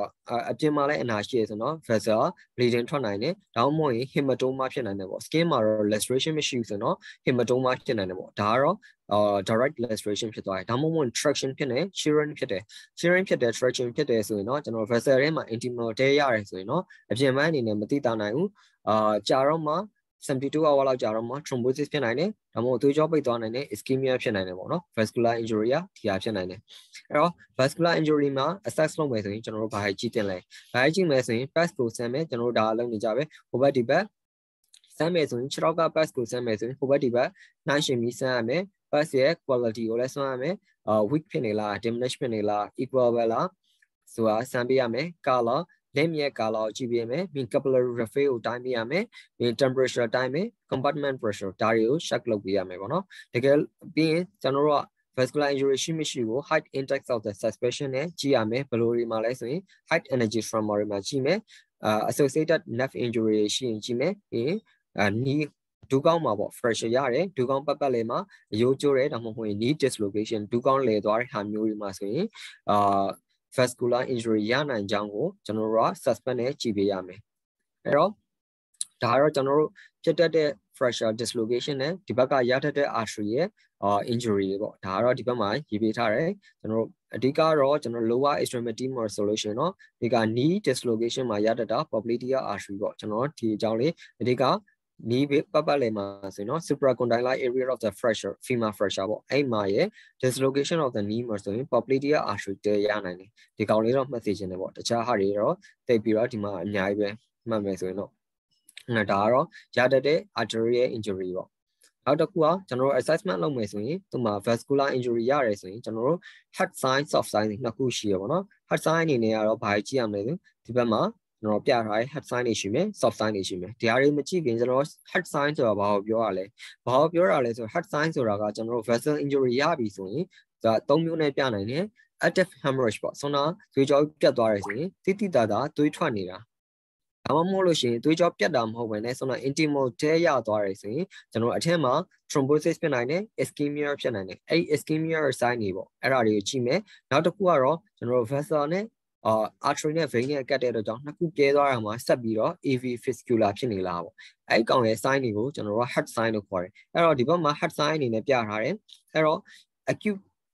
active hemorrhage ဖြစ်တယ်ဆိုရင်ကျွန်တော်တို့ဘာအနေနဲ့တွေးရမလဲဒီဘက် head sign ထဲမှာဆိုရင် massive bleeding အနေနဲ့တွေးရမယ်ဒါမှမဟုတ်ရင် rapidly expanding hematoma ပေါ့ဒီနှစ်ခုကကျွန်တော်ရဲ့ active hemorrhage ဖြစ်ကြောင်းရဲ့ head sign ပေါ့ဒီမှာကျွန်တော်ခွဲမှတ်လို့ရတယ်သူကတော့ ပြုံရေးထားပေါ့ကျွန်တော်တို့မှတ်ရင်ဒီနှစ်ခုကို active hemorrhage ကြောင့်ဖြစ်တယ်လို့မှတ်လိုက်တယ်နောက်တစ်ခုကတော့ front ischemia ပေါ့ ischemia ဖြစ်ရင်ကျွန်တော်ကြက်နေကြ 6p ဆိုပြီးကြက်တယ်အမှ past leg failure paresthesia pain paralysis ပေါ့အဲကောင်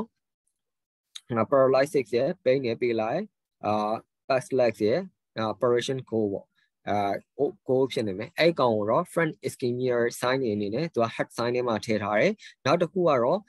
AV fistula ပေါ့ AV fistula ဆိုရင်ကျွန်တော်တို့ကကြားမယ်ဒါမှမဟုတ်စမ်းကြည့်ရင် tray တွေရမယ်နားထောင်ကြည့် audible brew တွေရမယ်ပေါ့အဲ့ကောင်ကတော့ဒီ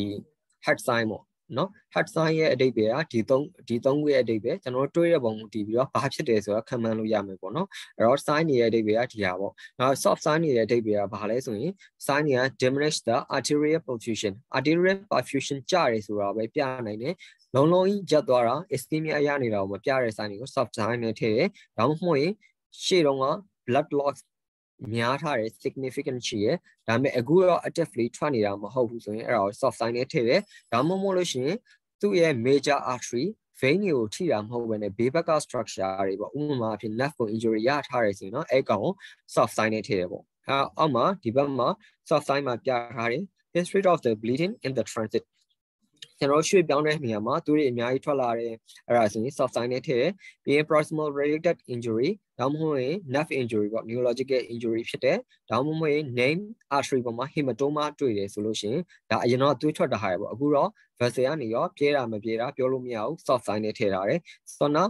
ဒီမှာတော့ hematoma ဒီအပေါ်မှာထူးကြတာ head sign မှာကြတော့ rapidly expanding hematoma အခု active ကို bleeding ရှိနေတယ် hemorrhage ဖြစ်နေတယ် active ဆိုတဲ့ဟာအခုချက်ချင်းထွက်နေတာဖြစ်တဲ့အတွက်ကြောင့် hematoma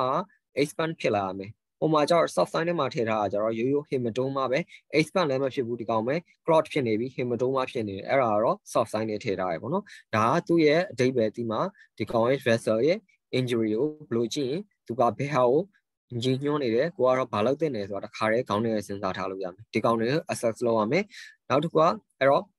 ကျွန်တော်ကျွန်တော်ပြောသလို head sign တွေတွေ့ရဆိုရင်သိကြတယ် vascular injury ရှိပြီ head sign တွေ့ရအဲ limb ကို realign လုပ်တယ်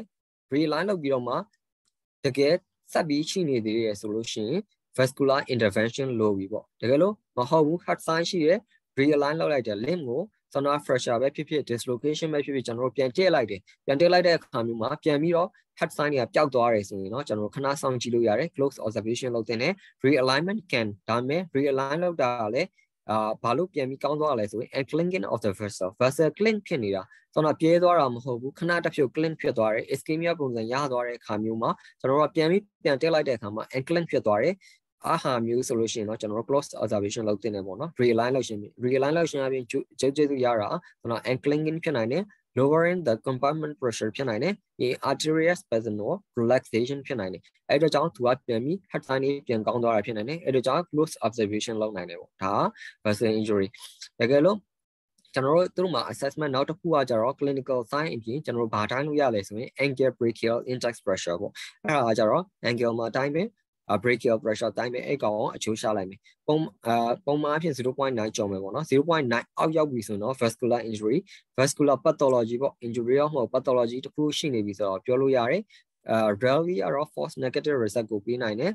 ဒါပေမဲ့ရှားရတယ်ပေါ့နော် always use in the high risk pressure pressure ပုံမှန်အဖြစ် knee ဒူကောင်ပတ်ပတ်လည်မှာ pressure ရတယ် dislocation ရတယ်ဆိုတော့ APR ကိုတန်းတင်တယ်ဒါကြောင့်0.9ထက်များတဲ့ဟောနည်းတယ်ဆိုလို့ရှိရင်တော့ urgent vascular intervention ဝင်ဖို့လိုတယ်။ကောင်က ABI အရေးကြီးတယ်။နောက်တစ်ခုကတော့ invasive ဖြစ်သွားပြီပေါ့နော်။ဒါတွေကတော့ CT angiography လုပ်လို့ရတယ်။ဒီကောင်ကတော့ဘယ်နေရာမှာဘယ်သွေးကြောပေါက်တယ်ဆိုတော့တခြားသိနိုင်တဲ့အတွက်ကြောင့် gold standard ပေါ့။ဒါပေမဲ့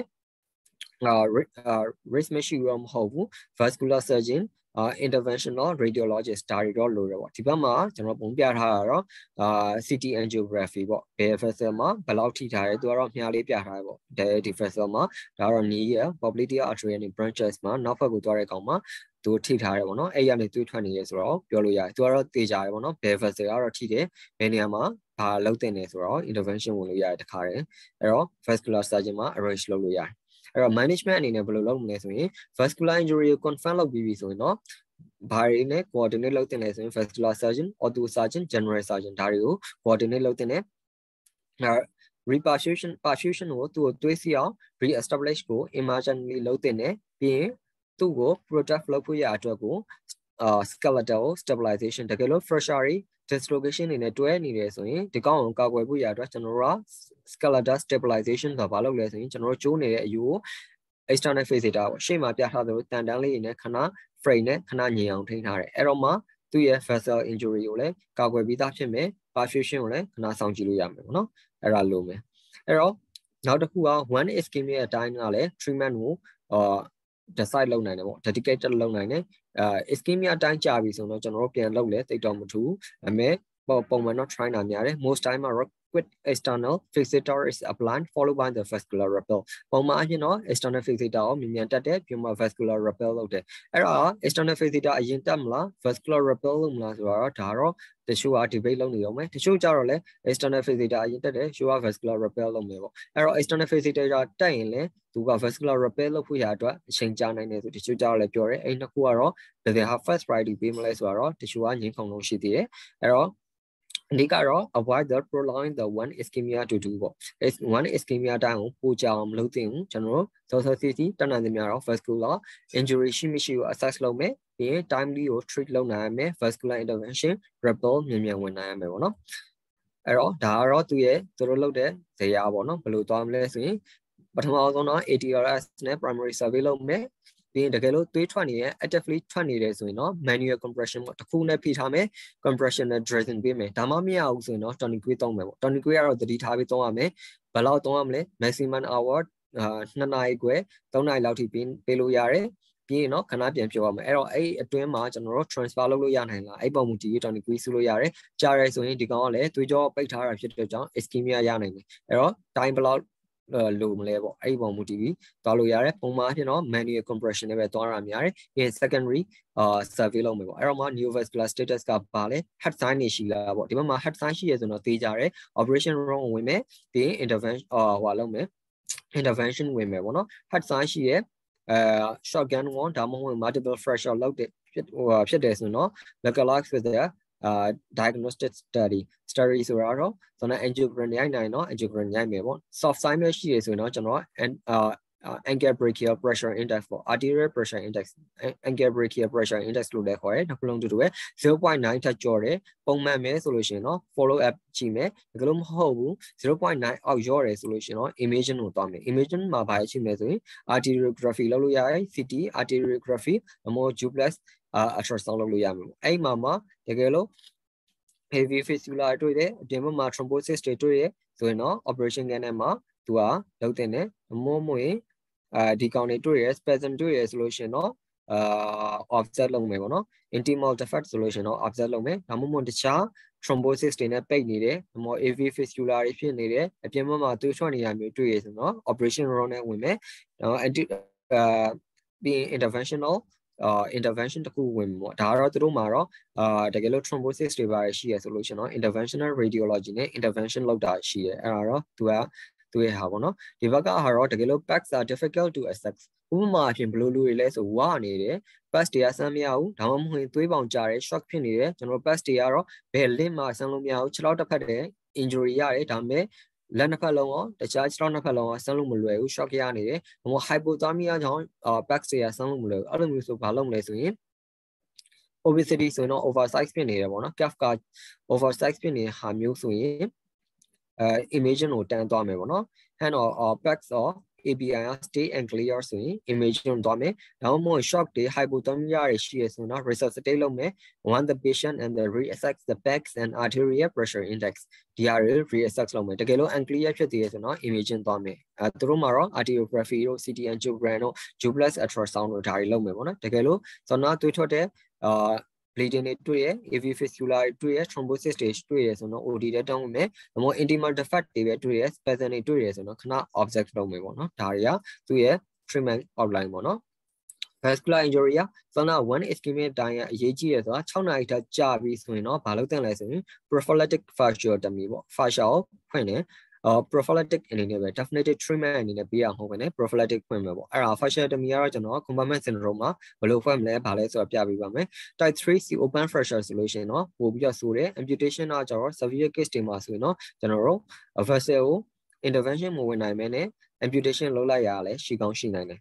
အဲ့တော့ nerve injury ပေါ့ vessel ပြီးရင် nerve injury အဲ့တော့ဘာအတွက်အရေးကြီးလဲဆိုရင် medical legal medical legal concern အတွက်အရေးကြီးတယ် the accurate assessment and documentation at the presentation ရောက်ရှင်မှလည်းလိုတယ်ဆိုတော့အတိုင်းပဲ reduction မလုပ်ခင်လည်းလိုတယ် reduction လုပ်ပြီးလည်းလိုတယ် surgery လုပ်ပြီးတဲ့အခါမှာလည်းဒီ nerve တွေရဲ့ function ကောင်းမကောင်း vessel တွေရဲ့ function အာ function ကောင်းမကောင်းဒါတွေကို assess လုပ်ပြီး note down လုပ်ဖို့လိုပဲပေါ့ကျွန်တော်တို့ assess လုပ်ရင်လည်းမကမကဘူးဟော check ထဲမှာပါရေးထားဖို့လိုတယ်ပြီးရင် remember to examine the for both motor and the sensory prior to the sedation ကျွန်တော် sedation မပိတ်ခင်ကိုဒီ sensory တို့ motor တို့ကိုစမ်းထားဖို့လိုတယ် nerve injury ဖြစ်တဲ့အတွက်ကြောင့်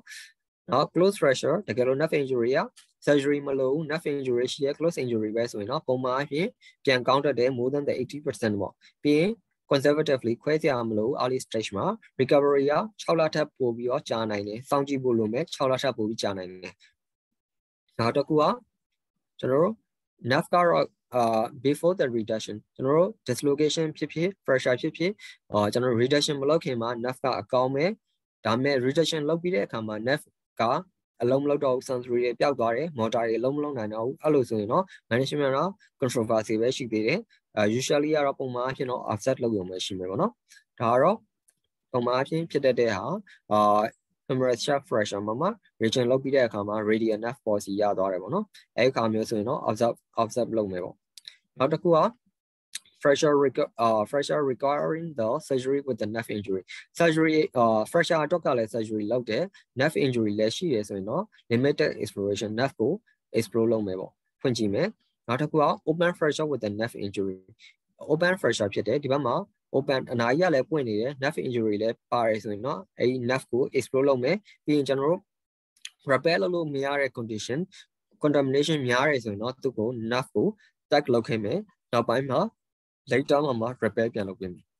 အဲ့တော့ follow up မှာဆိုရင် clinically ကဘာကြည့်မလဲဆိုရင် nerve injury အတွက်က electro diagnostic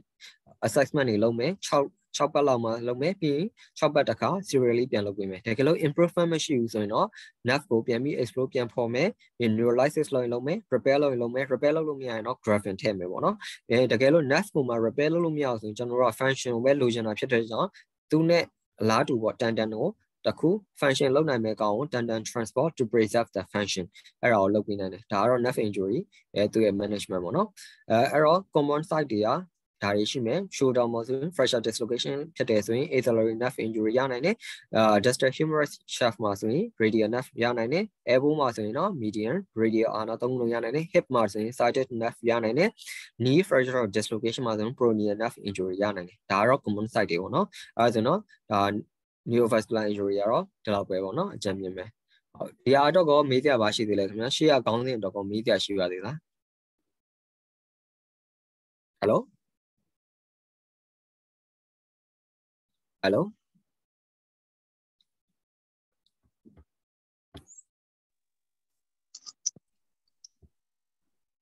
Hello ဟုတ်ကဲ့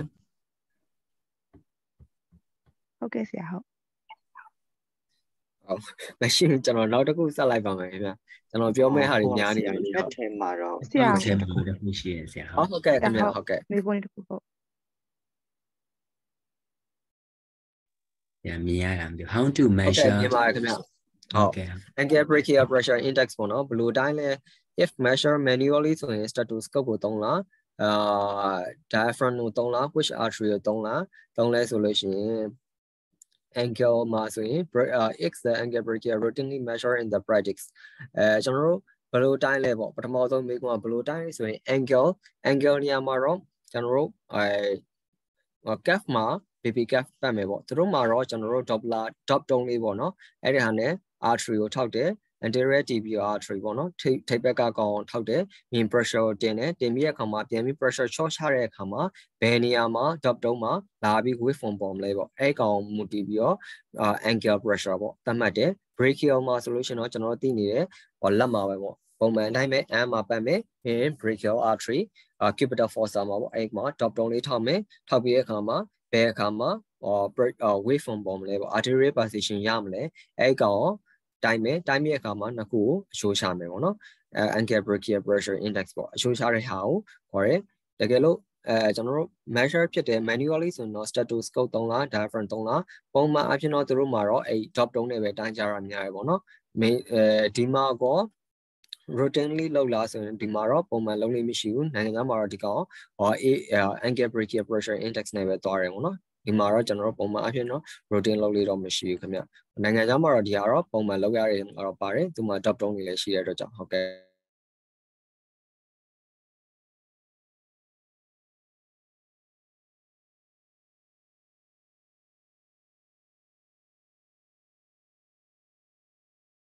ဟယ်လို ဟုတ်ပြီးမှမေးလဲရပါတယ်ခင်ဗျတကယ်လို့ဟိုပါပြလို့ရှင်လေကျွန်တော်နောက် compartment syndrome လေးဟုတ် hello hello ဟုတ်ကဲ့ဆရာဟုတ်ကဲ့ဆရာဟုတ်ဟုတ် sorry ပါကျွန်တော်ဘက်က internet ဟုတ် internet connection ကနည်းနည်းမငြိမ်ဘူးဖြစ်နေလို့ခင်ဗျဟုတ်ကဲ့ပါဟုတ်အဲ့ဒါကျွန်တော်နောက်တစ်ခု ထပ်သွားလိုက်ပါမယ်ခင်ဗျနောက်တစ်ခုကတော့ကျွန်တော်အရေးကြီးတဲ့ true orthopedic emergency ပေါ့နော်နောက် acute compartment syndrome ဒါကတော့အများစုလည်းကြားဘူးလေအဲရင်းနှီးပြီးသားခေါင်းစဉ်ပေါ့နော်အဲ့ဒါကျွန်တော်တို့ရဲ့ sorry ပေါ့လေအဲ့တော့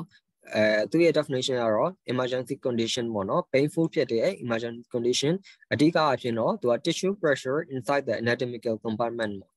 compartment တစ်ခုထဲမှာရှိရဲ့ tissue ကို pressure ရောက်တဲ့ဟာကအာ it's the vibration pressure မမေးတွေ့ဆရာ hello ဟုတ်ကဲ့ hello မရောက်လား thank you thank you ဟိုလေးဖြစ်နေဆရာ sorry တော့ compartment syndrome ရဲ့ဟောပိုင်း sorry ဟုတ်ကဲ့ sorry ဟုတ်ဟုတ် အဲ့တော့ဒါဆိုတော့ကျွန်တော် painful emergency condition ပေါ့နော် acute compartment syndrome ဆိုတာ emergency condition တစ်ခုဖြစ်တဲ့အာဘယ်အခါမှာဖြစ်လဲဆိုရင် tissue pressure inside the anatomical compartment compartment တစ်ခုထဲမှာရှိတဲ့ tissue pressure ကအာ exceed the perfusion pressure သူ့ကိုတွေးပြီးတဲ့ pressure ထက်ပိုပြီးတော့များနေတဲ့အခါမျိုးမှာဘာဖြစ်လဲဆိုရင် resulting in the ischemia and the necrosis အဲ့လို condition မျိုးကို emergency condition မျိုးကို compartment syndrome လို့ခေါ်တယ်ဒီမှာကျွန်တော်အနည်းလေးနဲ့တားပြီးထားတာဒီက tissue pressure ပေါ့ tissue pressure ဆိုတာအထက်ထဲမှာရှိရဲဆိုတော့ uncoated pressure တွေ hydrostatic pressure တွေ styling လုံးမှာပါတဲ့ကောင်တွေပေါ့အဲ့ကောင်တွေရဲ့ pressure ကတွန်းကန်တဲ့ pressure ကပုံမှန်သူ့ကိုတွေးသွားဖို့ရာအတွက် capillary ထဲမှာသွေးသွားတဲ့ perfusion pressure ထက်များတဲ့အခါမျိုးမှာ capillary ပိတ်သွားတဲ့အခါမျိုးမှာ perfusion မလုပ်နိုင်တော့ဘူးအဲ့အခါမျိုးမှာ ischemia ရမယ် ischemia နေဆိုရင် irreversible ischemia နေ necrosis ဖြစ်နိုင်တယ်အဲ့လို condition မှာဖြစ်နိုင်တဲ့ဖြစ်လာတဲ့ painful emergency condition ကိုကျွန်တော်တို့ compartment syndrome လို့ခေါ်တယ်အဲ့တော့ဘလို့ဘလို့နေရာတွေမှာဖြစ်တတ်လဲ lower extremity တွေမှာ upper extremity တွေထပ်ပိုဖြစ်တဲ့ အဲ့တော့ leg မှာဖြစ်နိုင်တယ် forearm မှာဖြစ်နိုင်တယ် hand မှာဖြစ်နိုင်တယ် foot မှာဖြစ်နိုင်တယ် thigh မှာဖြစ်နိုင်တယ်အဲ့တော့ risk factor တွေအဖြစ်ဘာရှိနိုင်လဲဘယ်လိုလူတွေမှာပိုကြီးတင်လဲပေါ့ trauma ဖြစ်တဲ့လူတွေတောင်းမို့ရင် anticoagulation therapy သွေးထွက်များနိုင်တဲ့လူတွေဒါမှမဟုတ် bleeding disorder ရှိနိုင်တဲ့လူတွေမှာ risk များတယ်ဘာလို့လဲဆိုအထက်ထဲမှာ muscle ထဲမှာသွေးထွက်တဲ့အခါမှာအဲ့ compartment တွေမှာ pressure တက်လာမယ်အဲ့ဒီတော့ကြောင့်သူ့မှာ risk ပိုများမယ် အဲ့တော့ etiology ဖြစ်စေတဲ့အကြောင်းအရာတော့ပုံမှန်အဖြစ်တော့ fracture ကြောင့်ဖြစ်မယ်အများစုက TBA fracture မှာတွေ့မယ် soft tissue injury များတဲ့အခါမျိုးမှာတွေ့မယ် second fracture band မှာတွေ့မယ် crush injury မှာတွေ့နိုင်တယ် constrict dressing တွေဖြစ်တဲ့ spling တို့ cast တို့ prior surgical position တွေကြောင့်ဖြစ်နိုင်တယ် penetrating wound တွေဖြစ်နိုင်တယ်အဲ့တော့ဒီဘက်ဘေးကဟာနှစ်ခုကတော့ကျွန်တော်ကတော့ဒီဘေးနာဟာနှစ်ခုမှတ်တယ်သူ့မှာ compartment ကအဲဒီ size ကတော့ဒီလောက်ပဲဒါပေမဲ့ internal cost ဆိုတာအထည်ထဲမှာ အာ contact တွေများလာတော့ဘာတွေများနိုင်လဲဆိုသွေးတွေများနိုင်တယ် hematoma တွေဖြစ်နိုင်တယ် coagulopathy တွေဖြစ်နိုင်တယ်နောက် soft tissue ရဲ့ edema တွေများနိုင်တယ်ပေါ့အဲ့ဒီကောင်တွေမှာ pressure တို့ over exercising of the muscle ဒါကလည်း edema တွေများလာမယ် muscle တွေရောင်လာမယ်ဒါမှမဟုတ် post ischemic တိုင်းကို reperfusion မှာလည်း edema တွေဖြစ်နိုင်မယ် animal bite တို့ soft or soft tissue injury vascular injury DVT idiopathic ဒါတွေကအတူတူပဲ edema တွေကြောင့်အထက်ထဲမှာ contact ကပိုပြီးများလာတဲ့အခါမျိုးမှာ compartment syndrome ရနိုင်တယ်ဒါမှမဟုတ်ရင်အထက်ထဲကတော့များတာမဟုတ်ဘူးအပြင်ဘက်ကသူ့ကိုကြက်လိုက်တဲ့ဟာမျိုး external causex ပေါ့ external causex ဆိုတာဘာလဲဆိုရင်အပြင်ဘက်ကနေကျွန်တော်တို့ တပတ်လေကို second fracture cax လုပ်တယ်ဒါမှမဟုတ်ရင် dragging လုပ်တယ်ဒါမှမဟုတ် band ကတပတ်လေလုံးရတယ်ပေါ့နော် action ကတပတ်လေလုံးရတယ်ဒါမှမဟုတ်ရင် trouser တွေဝတ်တယ်ပေါ့နော်သူတို့မှာ MAST လို့ခေါ်တယ်ဟာဝတ်တဲ့အချိန်ကြာတယ်ဒါမှမဟုတ်ရင် compression for the prolonged immobility မလုံနိုင်မချနိုင်တာအကြောင်း compression ကြာတဲ့ခါမျိုးမှာဆိုရင်တော့ဒီ compartment syndrome ဆိုရနိုင်တယ်အဲ့တော့ကျွန်တော်ကလွယ်လွယ်ပဲမှတ်တယ်အထဲထဲအကောင်အဒီမများတာဒါမှမဟုတ် hem hemorrhage ကြောင့်သွေးတွေများလာပြီးတော့အထဲမှာတင်းကျပ်လာတဲ့ cause ရှိမယ်နောက်တစ်ခုကတော့ external ကနေပြီးတော့ဒီ compartment တွေမှာတော့ content ကတော့ဒီလောက်ပဲဒါပေမဲ့အပြင်ဘက်ကနေဖိတာများတဲ့ external cause တွေရှိမယ်ပေါ့နော်နှစ်ပိုင်းခွဲလိုက်မယ်အမှန်က cause တွေကိုစဉ်းစားမယ်ပေါ့ဒါက etiology ပေါ့အဲ့တော့ဘယ်လိုဖြစ်လဲဆိုရင် soft tissue extremity မှာ injury ရတဲ့အခါမှာ intracompartmental swelling ဖြစ်လာမယ် edema တွေများလာမယ်အဲ့ဒီအခါမျိုးမှာ sonor perfusion pressure ဖြစ်တဲ့ capillary တွေပေါ့ capillary မှာလည်းအဓိကကျွန်တော်တို့က oxygen exchange လုပ်တယ် perfusion လုပ်တယ်အဲ့ဒါကြောင့် capillary တွေနဲ့ collapse ဖြစ်မယ်ဆောနာပြောရဲ tissue pressure venous pressure ထက်ပိုများတဲ့အခါမျိုးမှာအဲ့ခါမှာ tissue မှာ flow နည်းသွားမယ် flow နည်းသွားတဲ့အခါမှာ tissue hypoxia ဖြစ်မယ် hypoxia ဖြစ်ရင်ဆောနာ capillary မှာ leakage တွေများလာမယ်အဲ့တော့အဒီမာတွေပိုဆိုးလာမယ်အဒီမာပိုဆိုးလေ intra compartmental မှာ pressure ပိုများလေ swelling ပိုများလေ capillary တွေကပိုပိတ်လေ ပို့ပြီးတော့ ischemic hypoxia ပို့ဆိုးလေအဒီမှာပို့များလေအဲ့လိုနဲ့တန်နေရသူစကွင်းထဲမှာလဲပြီးပို့ပို့ဆိုးလာတယ်ပေါ့နော်အဲ့တော့ကျွန်တော်တို့ဘေးဘက်မှာ knee box လေးနဲ့ပြထားတယ် time of the injury ကအရေးကြီးရယ်ဘာလို့အရေးကြီးလဲဆိုရင်၄နာရီအတွင်းမှာဖြစ်ပြီးတော့ injury ရပြီး၄နာရီအတွင်းမှာဆိုရင် reversible ischemia ကိုရမယ်တကယ်လို့6နာရီလောက်ကြာပြီဆိုရင်တော့ permanent damage ဖြစ်သွားပြီ permanent damage တော့ muscle ရ fibrosis ဝင်နိုင်တယ်တဲ့ aesthesia ဆို nerve တွေက မသိရတဲ့ကြောင့် tick ဆိုတာအာလုံးလုံးအာမသိရလည်းဖြစ်နိုင်တယ်ဒါမှမဟုတ်ပိုပြီးပိုနာနေရလည်းဖြစ်နိုင်တယ်ပုံစံမဟုတ်တဲ့ဟာပေါ့ tick လို့ခေါ်မယ်ပြီးရင် motor အနေနဲ့ foot drop တွေရနိုင်တယ်အဲဒါ6နာရီလောက်ကြာရင်တကယ်လို့ဒီထက်ပိုပြီးကြာတယ်ဆိုရင်တော့ extensive muscle duct တွေရနိုင်တယ်အဲ့ဒီကနေပြီးတော့ muscle တွေဆုံးရှုံးသွားတော့ radiomyolysis ဖြစ်နိုင်တယ်အဲ့ဒီကနေတော့သူ့ရဲ့ muscle duct ကနေရနိုင်တယ် potassium တို့တခြား toxic factor တွေက blood strain တွေကနေဝင်ပြီးတဲ့အခါမှာ renal သွားဒုက္ခပြီးရင် acute renal failure ရနိုင်တယ် renal failure ကြောင့်သေနိုင်တယ်ပေါ့ဒါမှမဟုတ်လို့ရှိရင်လည်းအာအာဖြစ်တဲ့ limb မှာ amputation risk တွေဖြစ်နိုင်တယ်ဒါကတော့ time of the injury ကအရေးကြီးတယ်အဲ့တော့ကျွန်တော်တို့ injury တောင်းလည်းမှတ်ဖို့လိုတယ်ပြီးတော့ intervention ဝင်လည်းဒီကာလတွေမှာဒီလိုဝင်ရမယ်ဘာကြောင့်ဆိုရဲရွေချက်ကို time of the injury important အနေနဲ့ကျွန်တော်ပြီးမှအနီအနီကွက်လေးနဲ့ပြထားတယ် အဲ့တော့ကျွန်တော်တို့ zona clinical evaluation လုပ်ရင် zona ရှေ့မှာပြောထားသလို history မှာဘယ်လိုဖြစ်လဲ mechanism ကဘယ်လိုဖြစ်တာလဲ time of the injury ဘယ်အချိန်က injury ရတာလဲပြီးတော့တခြား relevant medical history ဆိုတော့သူ့မှာအာ coagulopathy နဲ့ပတ်သက်တဲ့ bleeding risk တွေဘာတွေရှိလဲ bleeding factor တွေဘာတွေရှိလဲအဲ့ဒါတွေမေးရမယ်ပြီးတော့ကျွန်တော်တို့အာနောက်တစ်ခုမေးရမှာသူ့မှာ increasing pain ပေါ့ progressive pain လို့ခေါ်တယ် pain ကပိုပိုဆိုးလာတယ် ပြီးရင် energetic သူနာလို့ပေးထားရတဲ့ energetic requirement ကလည်းပိုပိုပြီးတက်လာတယ်အဲ့ဒီ history တွေမေးထားဖို့လိုတယ် symptom မှာဆိုရင်ကျွန်တော်တို့အာသူကဘာပြောလဲဆိုရင် banding pain out of the proportionate to the injury ပေါ့ဒါကတော့အရေးကြီးတယ် injury နဲ့မဆိုင်ဘဲနဲ့ pain က banding pain out of proportionate ပေါ့ injury ကတိတ်တိတ်ဖြစ်ပေမဲ့သူနာတာတအားနာနေတယ်သူနာ progressive pain ရနေတယ်အဲ့ဒါဆိုရင်အဲ့ဒီ symptom ကအရေးကြီးဆုံးပေါ့ most specific and the important symptom ဒီကောင်ကအရေးကြီးဆုံးပဲ pain with the active contraction of the compartment ဒါမှမဟုတ်လို့ရှိရင်ကျွန်တော်တို့ compartment အဲ compartment syndrome ရတဲ့ compartment ပေါ့နော်ဥပမာအဖြစ်ခြေသလုံးချက်သားမှာနောက်ဖက်က posterior compartment ရဆိုရင် posterior compartment ကို contraction ဖြစ်အောင်လုပ်လိုက်တယ်ဥပမာအဖြစ် angle ကိုအာ dorsiflexion လုပ်လိုက်တဲ့အခါမျိုးမှာအဲသူ့ရဲ့ compartment contraction ရအောင်လုပ်တဲ့အခါမှာ pain ရတယ်ဆိုလို့ရှိရင်ဒါကအာ acute compartment syndrome ရဲ့အာ symptom ပေါ့အဲဒါမှမဟုတ်လို့ရှိရင် may have the paresthesia or the numbness အာထုံနေတာမျိုးဖြစ်နိုင်တယ်ဒါမှမဟုတ် အာ paresthesia လို့မျိုးဖြစ်နိုင်တယ်ပေါ့ဒါ symptom အနေနဲ့တွေ့နိုင်တယ် physical examination မှာဆိုလို့ရှိရင်တော့ဆိုတော့ပြောရဲကျွန်တော်တို့ muscle compartment ကြီး tight ဖြစ်နေတာတွေ့မယ် funny ဖြစ်နေမယ် swollen ဖြစ်နေမယ် wooden feeling of the muscle on the palpation palpation ဆိုရင် muscle ရလို့မျိုးဖြစ်မယ် skin မှာဆိုတော့ဘူးလေးတွေ pressure တက်နေရဲ့အောက်မှာ subcutaneous မှာ pressure တက်နေရဲ့ဆိုတာကိုပြခြင်းပြတဲ့ sign တွေပေါ့နော် bullax တွေဘူးလေးလေးအပေါ်မှာ blister လေးရှိနိုင်တယ် ပြီးရင်အာ sensory အနေနဲ့ vibration sensation တို့ပြီးရင်2 point discrimination တို့ကြာနိုင်တယ်နောက်တစ်ခုက ischemia ဖြစ်ပြီးဆိုတော့ကျွန်တော်တို့အာ ischemia ဆိုးလာပြီဆိုရင်တော့ဆိုတော့ ischemia sign တွေပေါ့ 6p ဆိုတာပြတယ်ဒီဘက်ဘေးမှာ 6p အနေနဲ့ပြထားတဲ့ဒါ sign of the ischemia ပေါ့ ischemia ဆို pela pain out of proportional ဒါ sorry ဒီကောင်ကကျတော့ acute compartment syndrome ရဲ့ 6p ပေါ့နော်အဲ့ကောင်မှာမှာသူက ischemia ရဲ့ symptom အာ sign တွေပါထည့်ရေးထားတယ် pela ရဲ့ pain out of the proportionate was with the passive stretch ပေါ့အဲဒီ was with the passive stretch နဲ့ pain out of the proportionate ကကြတော့ဒါ compartment syndrome မှာအရေးကြီးတဲ့ symptom ဖြစ်မယ်ဒီကောင်ကအရေးကြီးတယ်ပြီးရင် paresthesia ဖြစ်နိုင်တယ် bacillus ဖြစ်နိုင်တယ် poikilothermia ဖြစ်နိုင်တယ် paralysis ဖြစ်နိုင်တယ်ဒီကောင်တွေကတော့ ischemia ရဲ့ sign တွေဒီ pain တို့ pela pain ရိုးရိုး pain ကော pela paresthesia ရော bacillus poikilothermia paralysis ဒါတွေအကုန်လုံးက ischemia ဖြစ်တဲ့ဟာရဲ့ symptom တွေ ဖြစ်တဲ့အတွက်ကြောင့် sign တွေဖြစ်တဲ့အတွက်ကြောင့်ဒီကောင်ဆိုရင်တော့ leg sign ဖြစ်သွားပြီအရေးကြီးတာက pain out of proportion နဲ့ pain was with the passive stretch passive stretch လုပ်လိုက်လို့ရှိရင် pain ရတဲ့ကောင်ဘာမှမဟုတ် out of proportion နဲ့ဖြစ်အောင်နားနေရဆိုတဲ့ဟာမျိုးက acute compartment syndrome ရဲ့အရေးကြီးတဲ့ diagnosis လုပ်နိုင်တဲ့ symptom ပေါ့နော် passive stretch ရရင်ဘာလို့နာလဲဆိုရင် muscle တွေက ischemia ဖြစ်တဲ့အခါမျိုးမှာသူ့ကိုသွားပြီး stretch လုပ်လိုက်ရင်တအားနာတယ်အဲ့အတွက်ကြောင့် passive stretch မှာနာတာဖြစ်တယ် အဲ့တော့ဒီ symptom တော့အရေးကြီးတယ်အဲ့တော့ကျွန်တော်တို့ဘာလုပ်လို့ရလဲ imaging အနေနဲ့ဒါ clinically diagnosis လုပ်မယ် acute compartment syndrome ဆိုတာဘယ်လို diagnosis လုပ်လဲဆိုရင် clinically ပဲဒီ sign symptom တွေရှိရင် acute compartment syndrome လို့သတ်မှတ်မယ်ပေါ့နော်တခြားဟာတွေမလို့ imaging အနေနဲ့ကတော့ကျွန်တော်တို့တကယ်လို့ဟို fresher ကြောင့်ဖြစ်တယ်ဆိုရင်တော့ x-ray ရိုက်မယ်ပေါ့နော်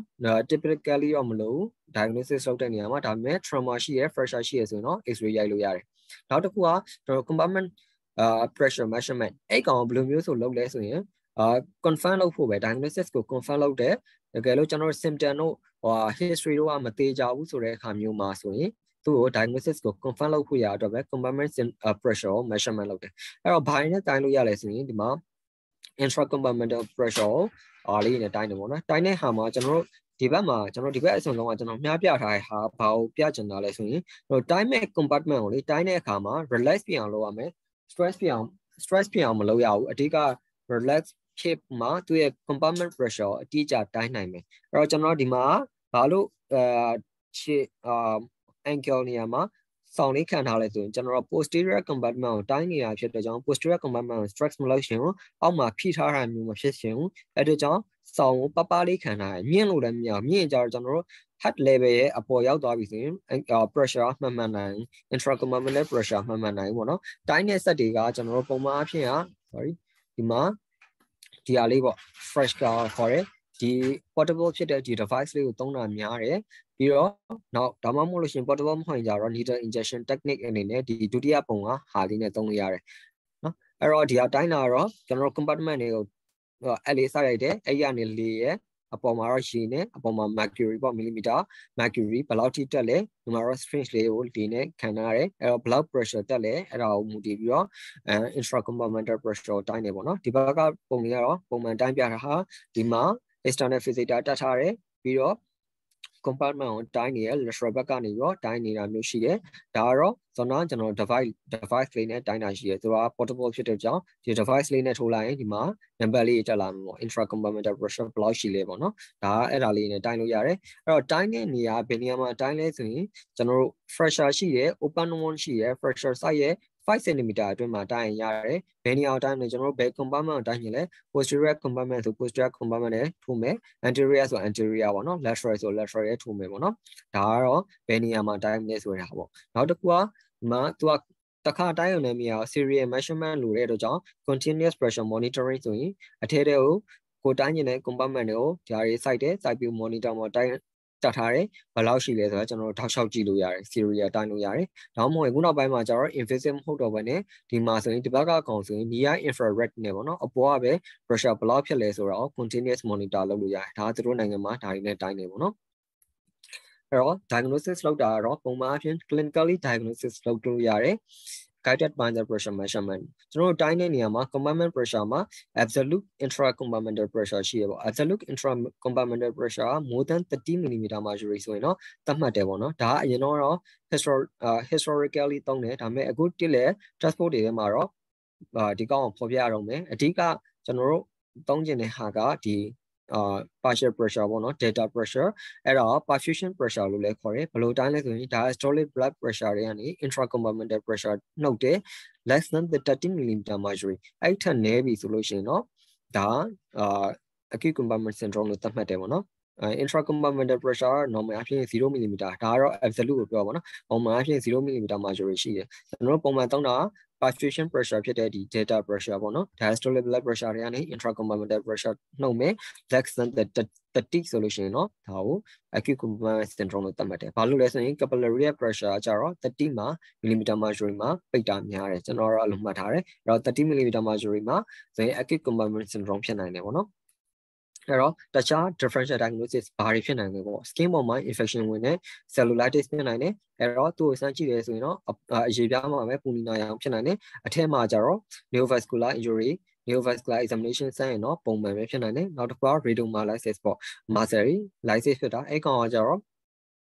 laboratory exam evaluation လုပ်လို့ရှိရင် creatinine တို့ အာ phosphokinase တို့ renal function တို့ urine မှာ myoglobulin တို့ potassium တို့အဲ့ကောင်တွေများနေမယ်ပေါ့နော်ဒါအနေနဲ့ crash syndrome အနေနဲ့ခွဲမယ်ဆိုဒါတွေလုပ်လို့ရတယ်အဲ့တော့ crash syndrome မှာလည်း acute compartment syndrome ဖြစ်နိုင်တယ်ပြီးရင် crash syndrome လည်းဆက်ပြီးဖြစ်နိုင်တယ်ပေါ့နော်ဒါကတော့သူရဲ့ဟာအဲ့တော့ compartment syndrome ဆိုလို့ရှိရင်ကျွန်တော်တို့ unequivocally positive clinical finding clinical finding မသေးကြဘူးဆိုလို့ရှိရင်เนาะကျွန်တော်တို့ဒီဘက်မှာသူကဒီမှာ သေကြတယ် fasciotomy လုပ်ပေါ့ unequivocally positive အာ clinical finding တကယ်လို့ patient က alert လည်းမဖြစ်ဘူး unreliable ပုံမှန်အဖြစ် polytrauma patient တွေမှာကျွန်တော်တို့သတိမရတတ်ဘူး patient ကပြီး inconclusive clinical finding clinical finding ကလည်းသိချာမသိဘူးအဲ့ဒီအခါမျိုးကြရင်တော့ diagnosis ကို confirm လုပ်ပြရတော့ compartment pressure measure လုပ်မယ်အဲတကယ်လို့ perfusion pressure lexin 30သိကြရဲဆိုရင်တော့ fasciotomy လုပ်မယ်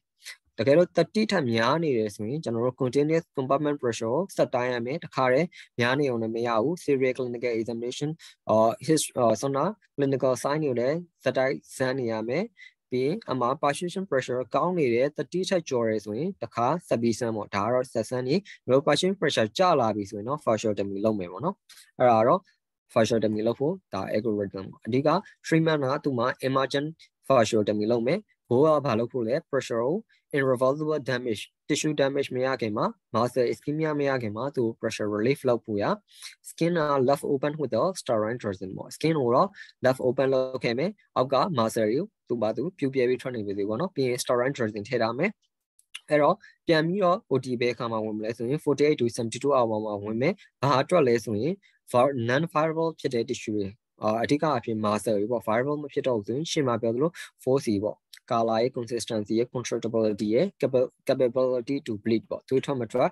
အဲ control လုပ်မလို့ color တို့ consistency တို့ပေါ်မူတည်ပြီးတော့တကယ်လို့ non fireable ဖြစ်တယ်ဆိုရင်တော့အဲကောင်တွေကို debrid exercise လုပ်မယ်ပေါ့နော် primary closure တော့စုံတဲ့အတိုင်းပဲ1 to 5 days မှာလုပ်မယ်သူကဒီတိုင်းဆွဲရှုပ်လို့ရရင်ဆွဲရှုပ်မယ်ဆွဲရှုပ်လို့မရဘူးစီးလို့မရဘူးဆိုရင်တော့အာ muscle ပေါ်မှာဆိုရင်တော့ skin အာ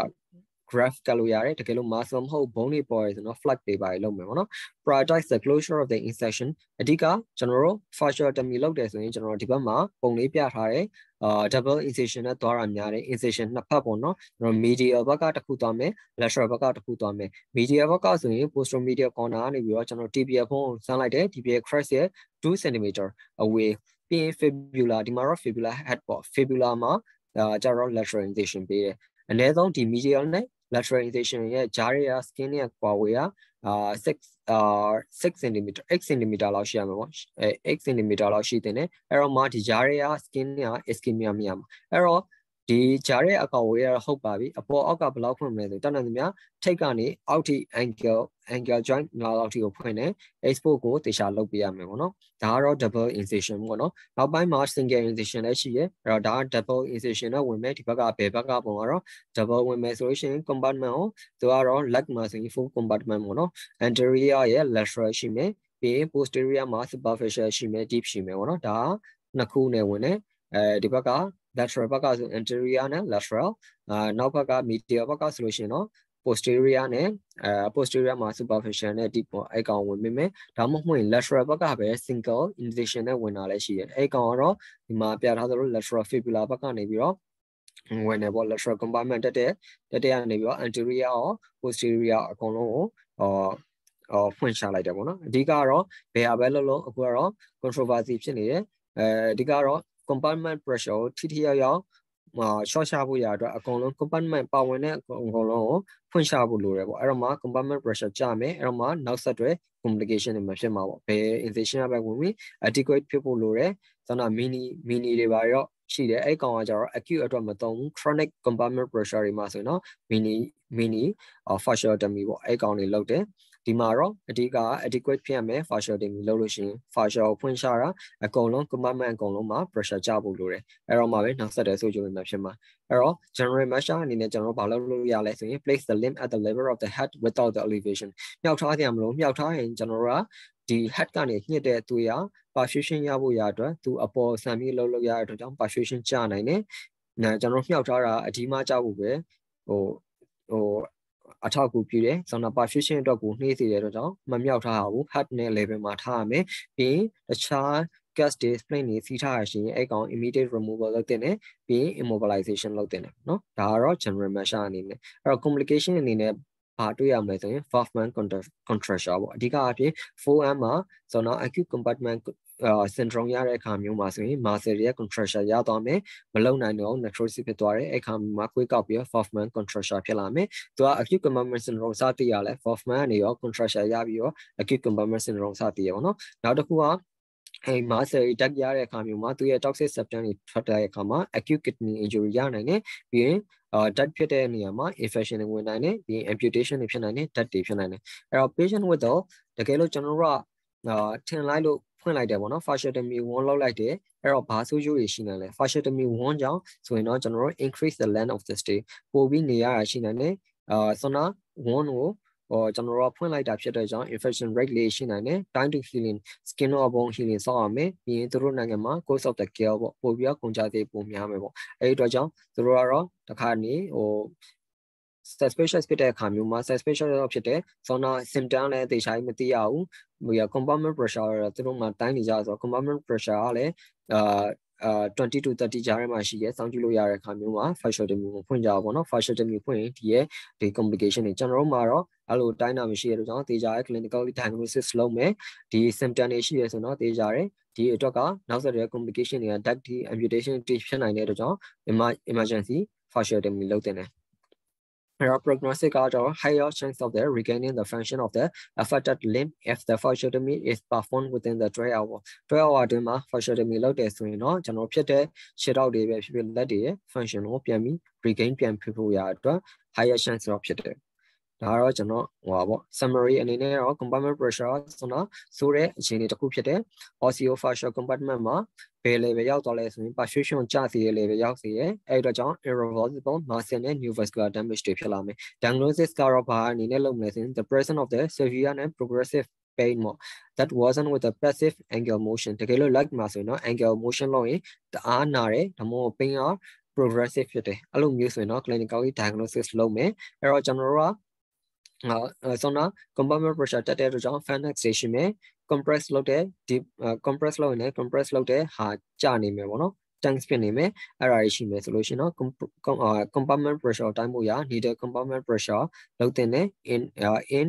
inconclusive of their physical finding and the insedated patient ကျွန်တော်တို့ clinically အရာပြောလို့မရဘူး sedation ပေးထားရလူနာလည်းဘာမှမပြောနိုင်ဘူးဆိုရင်တော့ needle compartment pressure နဲ့ confirm လုပ်တင်တယ်အဲ့တော့ treat လုပ်မယ်ဆိုရင်တော့ emergency fasciotomy လုပ်တင်တယ်ပါဝင်တဲ့ all the four four compartment ကို compartment ၄ခုလုံးကိုလုပ်တင်တယ်ဘာလို့လဲဆိုတော့သူကအာ leg မှာဖြစ်တာများတဲ့အကြောင်း compartment ၄ခုလုံးကို fasciotomy လုပ်တင်တယ်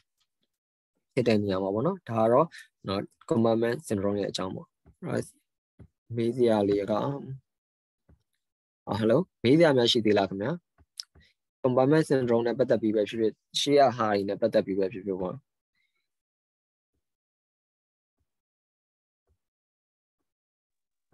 Hello Hello ဟုတ်ကဲ့ပါခင်ဗျာဟုတ်ဆရာဟုတ်မေး message တော့ဆရာမပို့ထားသေးဘူးဆရာ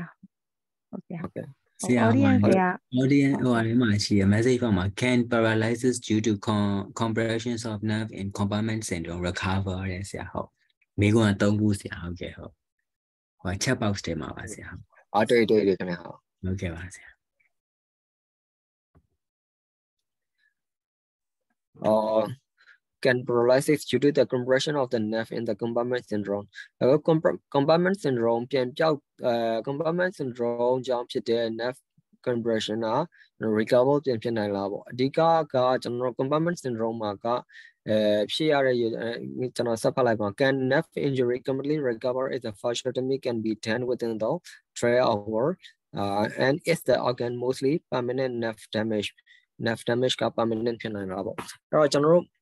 ပထမဆုံးမေးခွန်းကတော့ compartment syndrome recover ဖြစ်သွားတယ်ဆိုလို့ရှိရင်တော့အဲ nerve compression ကြောင့်ဖြစ်တဲ့အဓိကကကျွန်တော်တို့ဆန္ဒ paralysis ဖြစ်တာ nerve မှာ ischemia ဖြစ်သွားတဲ့ကြောင့်ကျွန်တော်တို့ဖြစ်တာ ischemia ဆိုတဲ့အကြောင်းရင်းက perfusion ပေါ့နော် ischemia ဆိုတာ perfusion perfusion ကျသွားလို့ဖြစ်တာအဲ့တော့ perfusion ကျသွားလို့ဖြစ်တာဖြစ်တဲ့ ဟာကိုကျွန်တော် compartment syndrome ကို recover ဆိုတာကျွန်တော် compartment syndrome recover ဖြစ်အောင်လုပ်တာ fasciotomy လုပ်တယ်ပေါ့နော် fasciotomy လုပ်တော့မှ perfusion ကပြန်ရမယ်အဲ့တော့မှသူ nerve ကပြန်ပြီး blood supply လုပ်မယ် regenerate ပြန်လုပ်နိုင်တယ်ပေါ့နော်အဲ့တော့ paralysis က nerve recover တော့ပြန်ဖြစ်နိုင်တဲ့အချိန်တစ်ခုထိတော့စောင့်ရမယ် can nerve injury completely recover if the အဲဆွမ်းနာဒါလည်းတူတူပဲပေါ့နော်ဆွမ်းနာကျွန်တော်ဖြည့်သလို within the 12 hour မှာဆိုရင်ကျွန်တော် nerve ischemia က reversible ဖြစ်သေးတဲ့အချိန်မျိုးမှာဆိုရင်ကျွန်တော်ပြန်ပြီးတော့ nerve injury က recover ဖြစ်နိုင်တယ်ဒါပေမဲ့အချိန်တိုင်းတာတစ်ခုထိတော့စောင့်နေတယ် is the organ mostly permanent nerve damage အဲ permanent nerve damage ဖြစ်နိုင်လားဆိုရင်ကျွန်တော်ပြောရဲ nerve compartment pressure ကဘယ်လောက်ထိဟောကြောင်တက်ရောက်ထားလဲအဲ့ပေါ်မူတည်ပြီးတော့ permanent ဖြစ်နိုင်လားပေါ်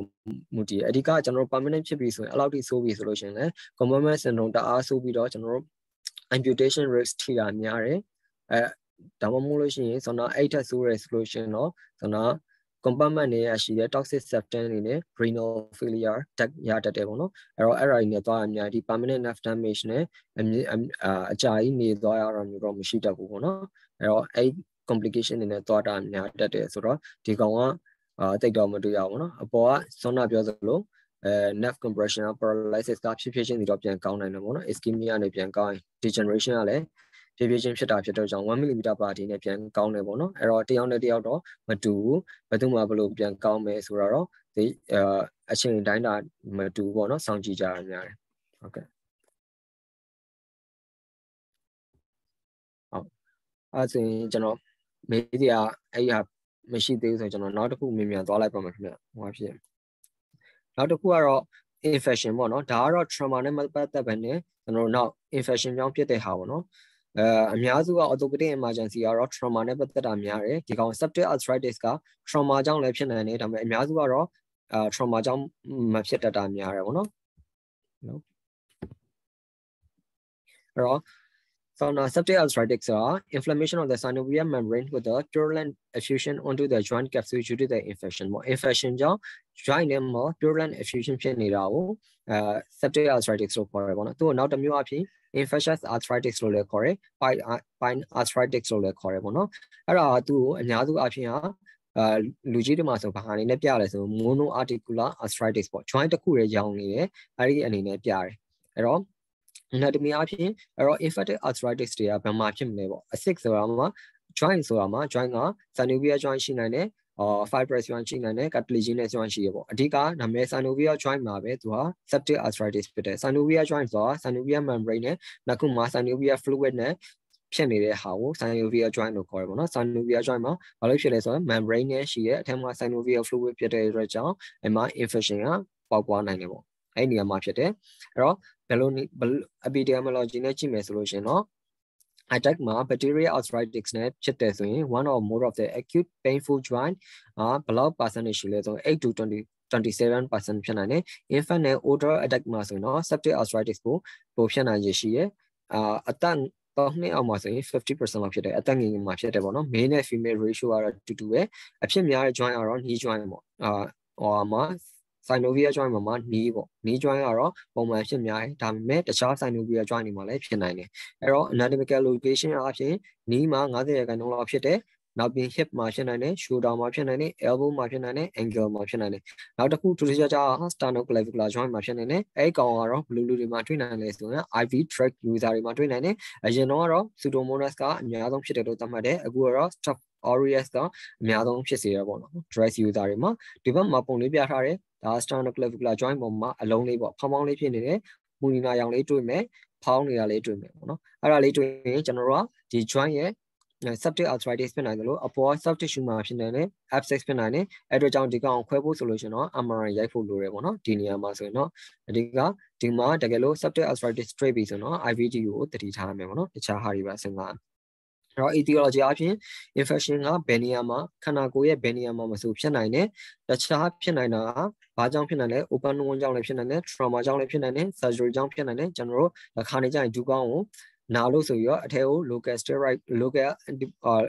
local anesthesia ပဲဖြစ်ဖြစ် steroid ပဲဖြစ်ဖြစ်ထိုးသွင်းတဲ့အခါမှာ asteroid လောက်တိုက်တဲ့ခါမျိုးမှာ infection ကိုဝင်သွားတာမျိုးဖြစ်နိုင်တယ်အဲ့တော့အာ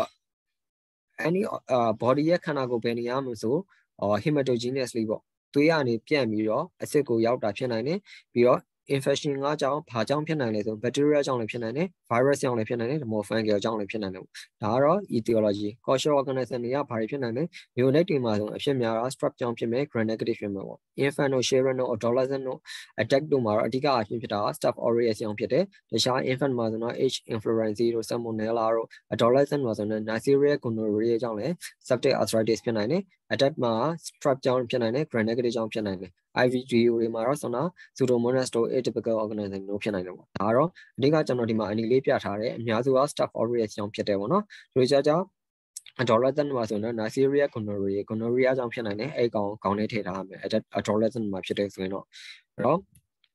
ဒါ risk factor ပေါ့အဲ့တော့ဆွမ်းနာပြန့်နိုင်တဲ့သုံးခုက contagious spread ပေါ့သူ့အနီးနားကနေပြန့်တာဖြစ်နိုင်တယ်သူ့ရဲ့ joint ပေါ်မှာရှိတဲ့ skin ပေါ့နော်အရေပြားမှာ infection ဖြစ်တယ်အဲ့ infection မှာတစ်စင်းအစ်ဟောတယ် joint နဲ့ဝင်တယ် ဒါမှမဟုတ် cutaneous မှာအာစာရှိရဲ့အာစာနေ infection ကနေရော acid ထဲဝင်တယ်။မို့ direct inoculation ဆိုတာအာဇောနာ intra-articular ပေါ့ intra-articular acid ထဲကို injection ထိုးထည့်တယ် local anesthesia ဖြစ်နိုင်တယ် steroid တွေထိုးနိုင်တယ်။အဲ့ကောင်မှာ asteroid ဖြစ်တဲ့ခါမျိုးမှာ infection ဝင်နိုင်တယ်။ဒါမှမဟုတ် prostatic joint ကျွန်တော်တို့ acid တွေအစားထိုးတဲ့ခါမျိုးမှာမတန်တဲ့ခါမှာ infection ဝင်နိုင်တယ်။ recent joint surgery joint surgery လုပ်ထားရဲဆိုလဲအာ direct inoculation ဖြစ်နိုင်တယ် hematogenous suppress ကတော့အဓိကအဖြစ် immunocompromised ဖြစ်တဲ့လူတွေမှာဖြစ်နိုင်တယ် diabetes mellitus တို့အမော HIV virus တို့ immunosuppressive medication တောက်ထားတဲ့လူတို့ intravenous drug abuse တို့ဒါမှမဟုတ်ရင်သူ့မှာ joint ကိုက primary disease တွေရှိနေတဲ့ ဟာမျိုးဆိုရင်လည်းပိုဖြစ်နိုင်တယ်။ဥပမာအဖြစ် OA ပေါ့ osteoarthritis တို့ other cause of the sexes တို့ prostatic joint တို့ pneumatoid arthritis တို့ sexual activity ဒါတော့ adolescent မှာ gonococcal arthritis ဖြစ်နိုင်တယ်။ other factor အနေနဲ့တော့အသက်ကြီးတဲ့အခါမှာ immune ကြတော့တခြားဖြစ်အာတခြားအကြောင်းအရာတွေရောအကြောင်း septic arthritis ဖြစ်နိုင်တယ်။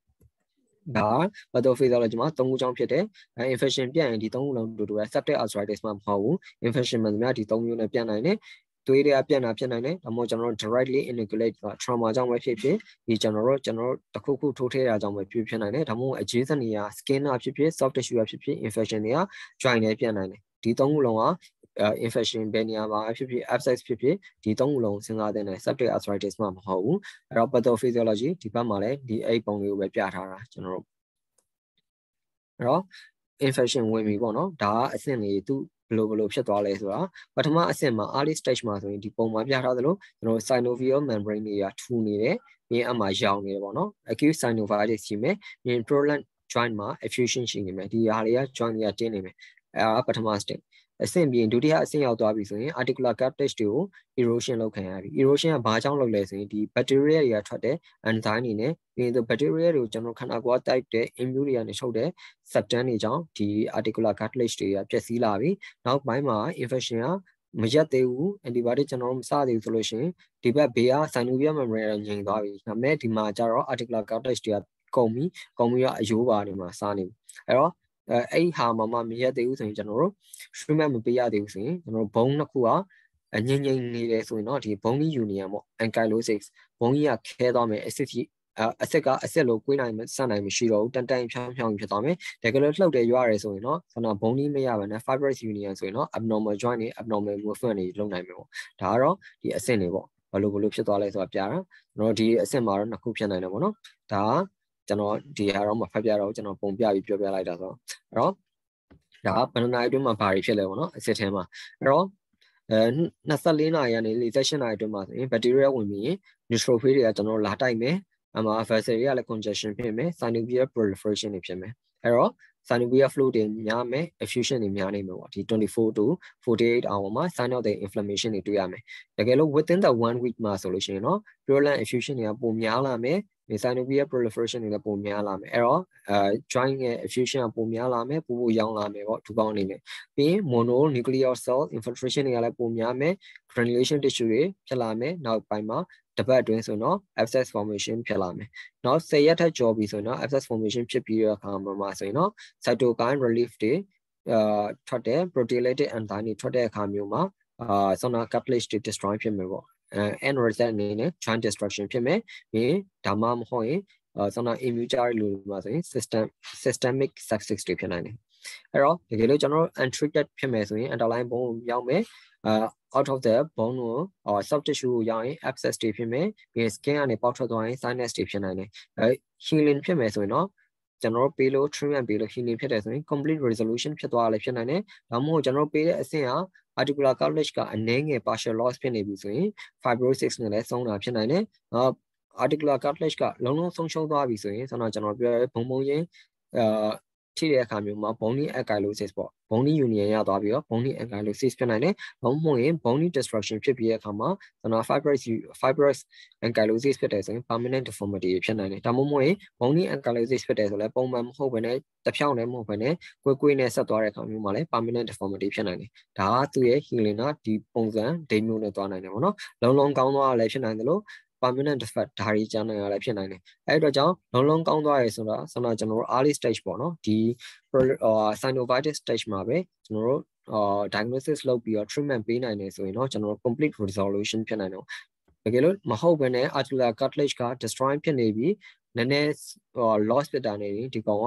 အာတခြား complication တွေဖြစ်နိုင်တယ်ဒါမှမဟုတ်တအားဆိုးသွားရယ်ဆိုတော့သူ့ရဲ့ deformity တွေရော ankylosis တွေရောဒီ အော်ချက်တော့တစ်ခုကသုံးမြအောင်ထိဖြစ်နိုင်တယ်ပေါ့နော်အဲ့အတွက်ကြောင့်သူက orthopedic emergency ထဲမှာထည့်ထားတာပေါ့နော်အဲ့တော့ကျွန်တော်တို့ဟုတ်ပြီသူကလာရဲဆိုရင် mono articular arthritis အနေနဲ့လာနိုင်တယ်ပေါ့ဒါတော့သူ့ကို differential diagnosis အနေနဲ့စဉ်းစားမယ်ဆိုရင်ကျွန်တော်ဘာတွေစဉ်းစားလို့ရလဲအဲ့တော့ septic arthritis ဖြစ်နိုင်တယ်ဒါမှမဟုတ် crystal arthritis ပေါ့အဲ့ဒါတွေကတော့ gout အတွေ့များတာမှာကျွန်တော် gout မှတ်ရမယ်တခြားတွေကတော့ အာ R တွေဖြစ်နိုင်တယ် O တွေဖြစ်နိုင်တယ်ပေါ့နော်နောက်တစ်ခါတစ်ခုက fracture တွေဖြစ်နိုင်တယ် intra-articular injury တွေဖြစ်နိုင်တယ်ဒါမှမဟုတ်သွေးထွက်တဲ့ condition ပေါ့ဒါတွေကတော့ hematological condition တွေသူ့မှာ bleeding risk တွေရှိတဲ့အခါမှာ hem arthrosis တွေဖြစ်နိုင်တယ် Lyme disease တွေဖြစ်နိုင်တယ် နောက်တစ်ခုကဒီဘက်ကကောင်တွေတော့တွေ့ရနေတော့တိတ်တော့မမှတ်ပါနဲ့တော့အဲ့တော့ဒါတွေဖြစ်နိုင်တယ်အဲ့တော့ mono arthritis နဲ့လာရဲဆိုရင်ကျွန်တော်တို့ articular ဆို joint တွေကဖြစ်တာလားဒါမှမဟုတ် joint ဘေးပတ်ပတ်လေရဖြစ်တာလားအဲ့ဒါကိုစဉ်းစားဖို့လိုတယ်အဲ့တော့အစစ်တစ်ခုနာပြီးရောင်ပြီပေါ့နော် arthritic ဆိုတာတော့ရောင်တယ်ပေါ့နော် arthritia ဆိုရင်တော့နာတာပေါ့အဲ့တော့ရောင်ပြီဆိုရင်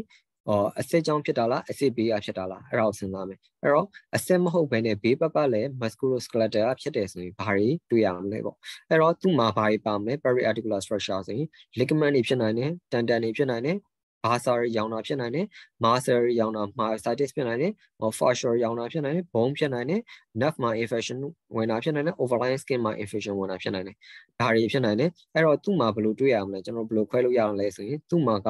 pain on active movement သူ့ကိုသူ့ဘာသူလှုပ်ရှားခိုင်းနေဆိုရင်အဲ့အစစ်ကိုလှုပ်ရှားရဲဆိုရင်နားတယ်ဒါပေမဲ့သူ့ကိုလှုပ်ရှားခိုင်းတာမဟုတ်ဘဲနဲ့ muscle ကို relax လုပ်ထားမယ်ကိုယ့်ဘာကို passive movement ပေါ့ကိုကလူနာလက်ကိုကင်ပြီးတော့အဲ့အစစ်ကိုလှုပ်ကြည့်ရဲဆိုရင်ပိတ်မရဘူးအဲဟာဖြင့်ခွဲခြားနိုင်တယ်ပြီးရင် tenderness ကလည်း localized tenderness ပေါ့ focal tenderness ပဲဘေးနာကကျွန်တော်ရောင်တဲ့နေရာဘုံ infection ဝင်တဲ့နေရာမှာ focal tenderness ပဲရမယ်ဟောဟိုလိုမျိုးကြီးအစစ်တစ်ခုလုံး deep ဖြစ်ပြီးတော့ diffuse ဖြစ်နေတာမျိုးမဟုတ်ဘဲနဲ့ focal မှာ tenderness ရမယ်ပြီးရင်ဘလို့အဖြစ်သိနိုင်တယ်ဆိုသူ့ရဲ့ specific movement လှုပ်ရှင်အပြင်ပိုနာမယ်ပေါ့ဥပမာအဖြစ် elbow မှာ lateral မှာ extensor tendon ရောင်နေပဲဖြစ်ဖြစ်နာရပဲဖြစ်ဖြစ်အဲဒါဆိုဖြစ်ကြည့်အဲ့နေရာမှာနာမယ်အဲ extensor ဖြစ်တဲ့အတွက်ကြောင့် extension wrist ကို extension လုပ်လိုက်တဲ့အခါမျိုးမှာဒီကောင်သွားပြီး stress လုပ်တဲ့အခါဒီမှာ ပိန်ရမယ်ပေါ့နော်ဒီမှာတူတူပဲ shoulder မှာလည်းအဲ့လိုပဲ shoulder ရဲ့ဘေးဘက်က muscle နားတဲ့ bicep ပေါ့နော်ရှေ့ဘက်က bicep ရဲ့အာ muscle ရဲ့ဒီတန်တန်လေးနားရဲဆိုလို့ရှိရင်ဒီကောင်မှာဒီနေရာကိုဖိချင်နာမယ်ပြီး bicep ရဲ့အာ activity လုပ်တယ်ပေါ့ဥပမာအဖြစ် round စိတ်ကွေးလိုက်တယ် bicep ကိုလှုပ်လှုပ်တိုက်တဲ့အခါမျိုးမှာ elbow ကို flexion လုပ်တဲ့အခါမျိုးမှာဒီကောင်ကသွားနာမယ်ဒါမှမဟုတ်လို့ရှိရင်အပေါ်မြောက်တယ် အဲ shoulder joint ကိုအပေါ်မြောက်တဲ့အခါမျိုးမှာ flexion လုပ်တဲ့အခါမျိုးမှာပိန်ရမယ်ပေါ့အဲ့တော့ articular ဖြစ်ပြီဆိုရင်တော့ articular ထဲမှာဘာတွေပါနိုင်လဲ synovial ရောင်တာဖြစ်နိုင်တယ် synovial fluid မှာ infection ဖြစ်နိုင်တယ်ဒါမှမဟုတ် articular cartilage မှာ injury ရလည်းဖြစ်နိုင်တယ်ဒါမှမဟုတ် infection ဝင်တာကြောင့် trauma ရလည်းဖြစ်နိုင်တယ် intra articular မှာ ligament တွေတဲရတာကြောင့်ဖြစ်နိုင်တယ် joint capsule injury ရဖြစ်နိုင်တယ်ဒီကောင်တွေ injury ရတာမှန်သမျှမှာ articular type လို့သတ်မှတ်တယ်ပေါ့နော်အဲ့အမျိုးမှာဆိုရင်တော့ deep pain က deep ဖြစ်မယ် diffuse ဖြစ်မယ်အဲ့တော့ကျွန်တော် pain pain ရတယ်ပြီး motion limitation ကဘယ်အခါမှာရအောင်လဲဆိုရင်သူ့ကိုသူ့ဘာသူ actively movement လုပ်တဲ့အခါမှာလည်းရမယ်ကျွန်တော်တို့ကမဟုတ်ဘဲနဲ့တိုင်ပြီးတော့အဲ့ joint ကိုလှုပ်ကြည့်တဲ့အခါမျိုးမှာလည်း pain ရနိုင်မယ် အဲ့လိုမျိုး active ပေါ် passive ပေါ်ရရဲဆိုရင်တော့ intra articular ပေါ့ articular မှာတစ်ခုခုဖြစ်နေပြီ articular ဆိုတော့ synovial ကဖြစ်တာလည်းဖြစ်နိုင်တယ် articular cartilage ကဖြစ်တာလည်းဖြစ်နိုင်တယ်ဒါမှမဟုတ်အဲ joint ထဲမှာရှိတဲ့ ligament တွေပေါ့နော် cruciate ligament ပဲဖြစ်ဖြစ် meniscus တွေပဲဖြစ်ဖြစ် injury ရတယ်ဆိုလို့ရှိရင်ဒီလိုမျိုး pattern နဲ့လာမယ်ပေါ့အဲ့တော့ swelling ကဘယ်ကနေရမလဲ synovial proliferation တို့ effusion တို့ bony enlargement တို့နဲ့ရမယ်သူမှာ deformity ရှိနိုင်တယ် Sanchin crepitus တွေရနိုင်တယ် instability တို့ locking တို့ဖြစ်နိုင်တယ် နော်အဲ့တော့ inflammation လား non inflammatory လား monoarthritis ပေါ့နော်အစစ်တစ်ခုရောင်းနေဆိုရင် inflammation လား non inflammation လားခွဲတင်တယ်ဒါပဲရမှာလဲ inflammation ဆိုတော့ဆရာတို့သိပြီးသားပူနီနာရောင်ပေါ့နော် clinical sign ကျွရင်တွေ့မယ် symptomatic အနေနဲ့ကတော့ feveration နဲ့ fatigue systemic အနေနဲ့ feveration နဲ့ fatigue to rash to weight loss တွေရှိနေတယ် investigation အနေနဲ့ ESR တို့ CRP တို့တက်မယ်ပေါ့နော်အပြင် morning stiffness ကလည်း prolong ဖြစ်မယ်အဓိက non inflammatory နဲ့ inflammatory တို့မှာကျွန်တော်သိတာ intermittent stiffness ပေါ့ non inflammatory မှာတော့ degenerative disease တွေပေါ့နော်ဒီက pneumothorax တို့မှာတွေ့ရမယ်အဲဟာဆိုလို့ရှိရင်တော့ inflammation sign တွေမရှိဘူးသူ့မှာက intermittent stiffness less than the 60 minute မနက်ထထခြင်းမှာ သူက step ရနေမယ်ဒါပေမဲ့လှုပ်ရှားပြီးလုပ်ရင်အပြင်သူက stiffness ကမရှိတော့ဘူးပေါ့နော်တောင်းတောင်းဖြစ်မနေတော့ဘူးနေလို့ထိုင်လို့ကောင်းသွားတယ်အဲ့လိုမျိုးဆိုရင်တော့ non inflammatory ပေါ့ degenerative disease တွေဖြစ်နိုင်တယ်အဲ့ဒါ degenerative နဲ့ inflammatory ခွဲဖို့ရအတွက် joint တွေမှာသုံးတယ်ပေါ့နော်ဒါ clinical evaluation အနေနဲ့ symptom မှာ pain ရမယ် fever ရမယ်ကလေးတွေကိုကြည့်ရင် toxic ဖြစ်နေမှာပေါ့နော်လူကြီးမှာတော့ toxic တော့သိမတွေ့ရဘူးနောက်တော့အဲဒါကကျွန်တော်ပုံလေးပြထားတယ်ဒီမှာဆိုရင်ဒူကောင်းတစ်ဖက်ကိုချင်းချင်းဘယ်နဲ့ညာနဲ့အဲ့တော့ အဲဘယ်ဘက်မှာဆိုရင်ဒါတော့ရောင်နေပေါ့နော် inflammation sign လည်းရှိတယ်ပြီး effusion လည်းရှိတဲ့အတွက်ကြောင့်ဒီမှာဘေးဘက်ကညာဘက်မှာရှိရဆိုရင်ဒီဘက်က pulse လေးပေါ့နော်ပတ်တလာဘေးနောက်မှာရှိတယ်နေရာလေးညာခြိုက်နေတယ်ဒါပေမဲ့ဒီဘက်မှာကျတော့ effusion ကြောင့်ပြည့်ပြီးတင်းနေတယ်အဲကောင်ကညီလဲညီနေတယ်အဲအတွက်ကြောင့်ဒီ mono arthritis ပေါ့နော်ဒီကတော့ arthritis လို့ပဲပြောလို့ရမယ် arthritis ဖြစ်နေတဲ့ဟာမျိုးဆိုရင် အာ antiprot otherwise ကတော့ကျွန်တော်တို့ကြောက်တာ septic arthritis ကိုကြောက်တဲ့အတွက်ကြောင့် septic arthritis လို့သတ်မှတ်ပြီးတော့ကုရမယ် antiprot otherwise ပေါ့နော်အဲ septic arthritis အနေနဲ့ပဲကုမယ်ပေါ့ဒီဟာအဓိက အဲပြီး systematic feature ဖြစ်တဲ့ fever တို့ဘာလို့ရှိတယ် toxic ဖြစ်တယ်ဆိုတော့ဒါပိုသေးကြတယ်ပေါ့နော်အဲနောက်တစ်ခုကဒီဘက်ကပုံကတော့ကျွန်တော် physical examination မှာတွေ့မယ်ဟာပေါ့ inspection မှာဆိုရင်ကျွန်တော်ကျွန်တော်ပြော everything မှာတွေ့နိုင်တယ် effusion တွေတွေ့နိုင်တယ်ပြီးတော့သူ့ရဲ့ joint မှာ east position ပေါ့နော်သူတက်တောင့်တာရှိမဲ့နေရာဘယ်လို position လဲဆိုရင် joint ပေါ်လို့များမဲ့ position မျိုးကနေနိုင်တယ်တိတာကတော့ဒီ hip မှာဖြစ်တယ်ဆိုရင်တော့ favor position ပေါ့ဒီမှာ FAB က favor ဆိုတော့အထူးကောင်း hip calf flexion ဖြစ်နေမယ် adaptation ဖြစ်နေမယ် external rotator ဖြစ်နေမယ်ဒါဒီဘက်ပုံမှာပြထားတယ်ဒါ right hip မှာ septic arthritis ဖြစ်တဲ့အခါမှာသူတက်တောင့်တတဖြစ်အောင်ခြေထောက်ကို flexion လုပ်ထားတယ်ပြီးရင် adaptation ဘေးဘက်ကိုလုပ်ထားတယ်ပြီး external rotator လုပ်ပြီးတော့ position နဲ့လာမယ်ပေါ့နော်ပြီးရင်စမ်းကြည့်မယ်ဆိုရင်လည်း1ဖြစ်မယ် tender ဖြစ်မယ် motion ကလည်း lack of motion ဖြစ်နေမယ်ပြီးရင်ကလေးတွေမှာဆိုရင် inability to bear weight ပေါ့နော်မရနိုင်ဘူး range of motion လည်းမလုပ်နိုင်ဒါတွေက population မှာတွေ့နိုင်တယ် အဲ့တော့သူကအသက်လည်းအရွယ်လိုက်ကနည်းနည်းဆန်းရတာမတူတဲ့ကြောင့် new moon မှာဆိုရင်ဘာတွေတွေ့မလဲ septicemia နဲ့ပုံမှန်ဖြစ်လာတဲ့ joint pain တက်ဆိုရင် baby က irritable ဖြစ်နေမယ်ပြီးတော့အာ no မဆိုပေါ့နော်ပြီးရင် ဆဲချင်းတခိကာဒီယာနဲ့ fever တွေ့မယ် joint တွေအပြင်ကတော့တူတူပဲ one tenderness resistant to move ပေါ့နော်အဲ့တော့ infection site တွေအပြင်မမရှိတဲ့လဲ umbilical cord တို့ IV site တွေကနေဝင်နိုင်တယ်ပေါ့နော်ဒီနေရာတွေလိုက်ကြည့်ပြန် Sharon ရောက်ပြီဆိုရင်တော့ single leg joint ပေါ့ဆောနာပြော hip joint မှာဖြစ်နိုင်တယ်သူက pseudo parisix ကအာ parisix paralysis မလောက်နိုင်တာ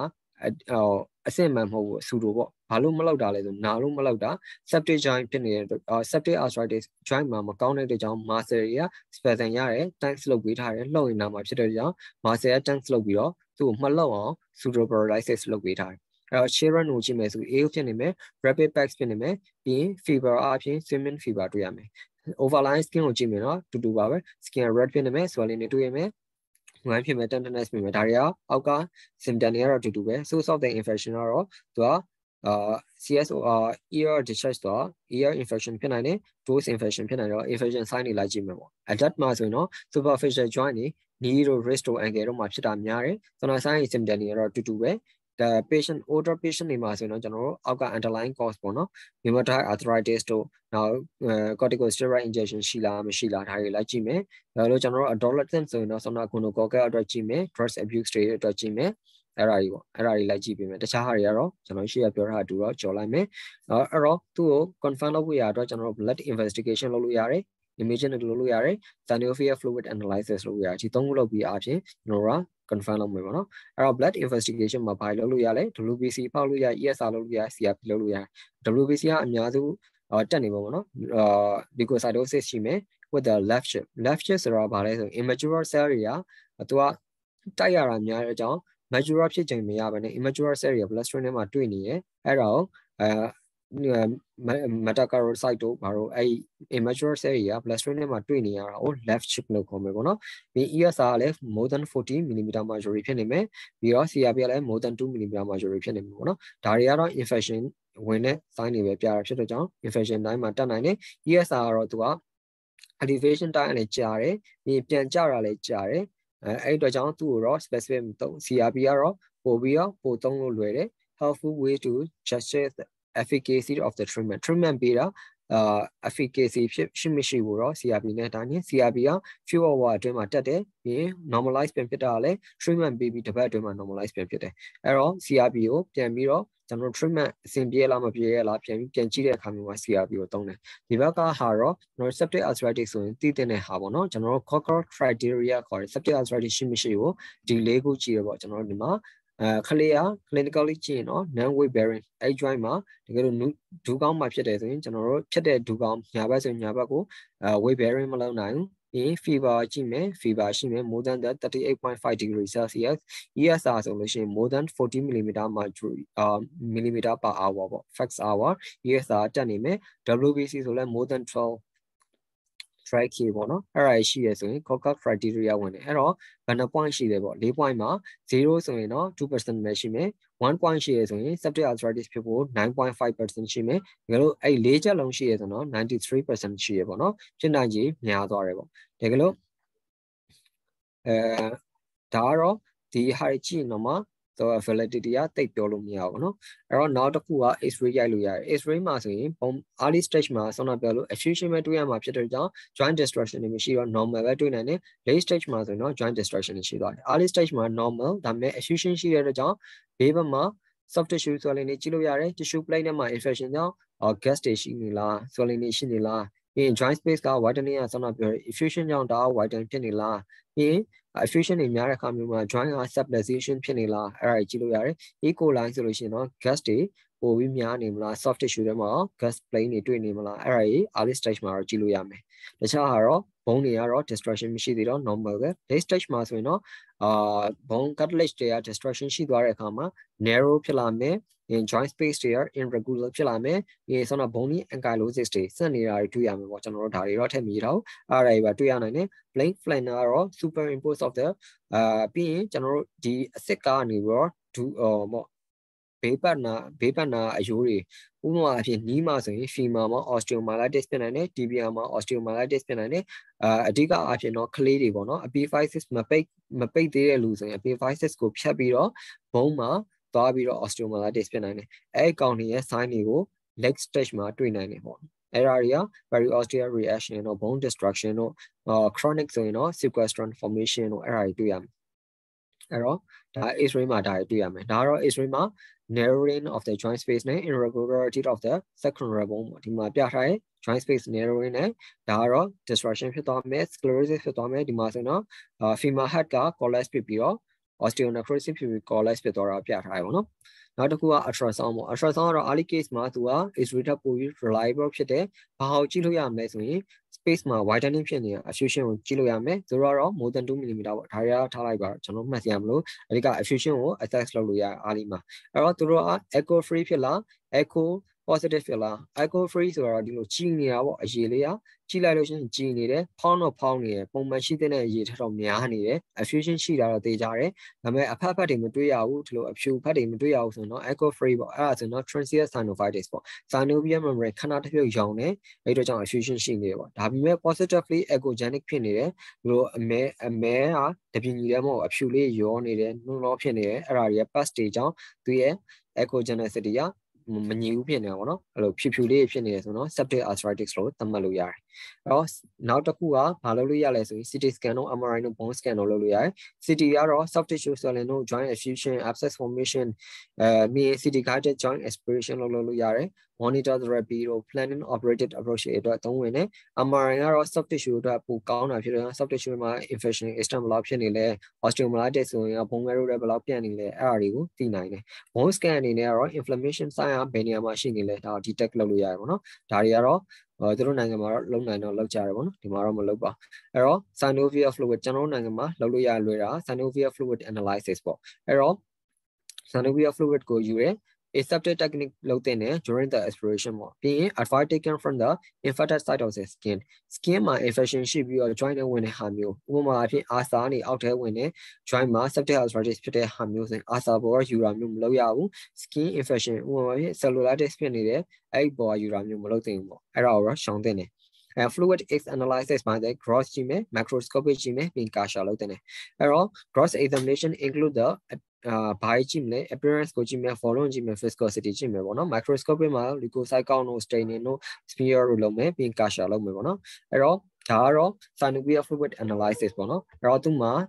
cross ကြည့်မယ်ဆိုရင်သူ့အယောင်ကကျွန်တော်ဒီဘက်က septic arthritis ကိုပဲပြောလိုက်တော့မယ်ဒါကတော့သူ normal နဲ့ရှင်းပြထားပါတော့အဲ့တော့အာ color ကိုကြည့်မယ် clarity ဆိုရင် oblique ဖြစ်မယ် or opaque ဖြစ်မယ်နောက်တစ်ခုက color ဆိုရင် yellow green color ဖြစ်မယ် viscosity ဆို variable ဖြစ်နိုင်တယ် အဓိကတော့ WBC ကောင်းပေါ့ WBC ကောင်းက more than the 50000ပေါ့ငါ9000အဲ9000ကျော်ပေါ့9000ကျော်ဖြစ်ရမယ်ပြီးရင် polymorphonuclear အာ neutrophil ပေါ့ neutrophil တွေကကြတော့အဲ more than the 75ဖြစ်ရမယ် percentage ကအဲ့ဒီချိန်များမယ် calcium လောက်တယ်ဆိုရင် positive ဖြစ်မယ် glucose အနေနဲ့ဆိုရင် neutrophil တွေကတုံးလိုက်တဲ့အတွက်ကြောင့်ဒီ plasma ရဲ့ or glucose level less than the 25ပေါ့ synovial မှာရှိတဲ့ glucose level less than the 25 mg per deciliter ပေါ့အဲ့ဒါ even the lower than the plasma တခါတည်း plasma ထက်တောင်ပိုနေနိုင်တယ်ပေါ့နော် blood ထဲမှာရှိတာထက်ဆိုင် glucose ပိုနေနေနိုင်အဲ့ဒါ septic arthritis မှာဆိုရင်ဒီ finding တွေတွေ့နိုင်တယ်ပေါ့နော်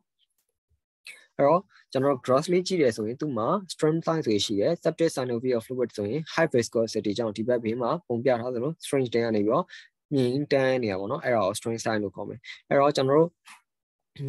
အာစာနဲ့ဖြစ်တဲ့ဒါမှမဟုတ် trauma ကြောင့်ဖြစ်တဲ့ဟာကြောင့်ဆိုရင်ကျွန်တော်တို့ဘာလုပ်လို့ရလဲ slide loading test ပေါ့ဒီအာစာကြောင့်ဒီ septic arthritis ဖြစ်တာလားဒီ septic arthritis နဲ့ဒီအာစာနဲ့ရောဆက်ဆက်မှုရှိလားပေါ့အဲ့ဒီဟာကိုအတွက် slide loading လို့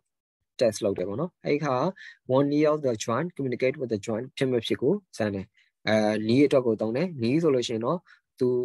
sensitivity 95%ပြဖို့ရ slime ဘယ်လောက်သုံးလဲဆိုရင်155ပေါ့ကျွန်တော်ပုံမှန်185 99%တော့ပုံမှန်200လောက်ပေါ့မယ်လောက်ကိုသူထိုးကြည့်တယ်ထိုးကြည့်တဲ့အခါမျိုးမှာ joint ထဲမှာပြည့်ပြီးတော့အပြင်ကျွန်တော်တို့တကယ်လို့ joint နဲ့ communicate ရှိတယ်ဆိုရင် one နေရာပဲဖြစ်ဖြစ်အာစာနေရာပဲဖြစ်ဖြစ်ကျွန်တော်တို့ထိုးထည့်လိုက်တဲ့အရေးတွေကပြန်ပြီးတော့အပြင်ကိုထွက်လာမယ်အဲ့လိုမျိုးဆိုရင်တော့အာစာသုံးဟော one ကဒီ joint နဲ့ဆက်ဆက်မှုရှိတယ်ပေါ့နော်အဲ့ဒါဟာကိုသုံးတဲ့ဟာ slide loading text ပေါ့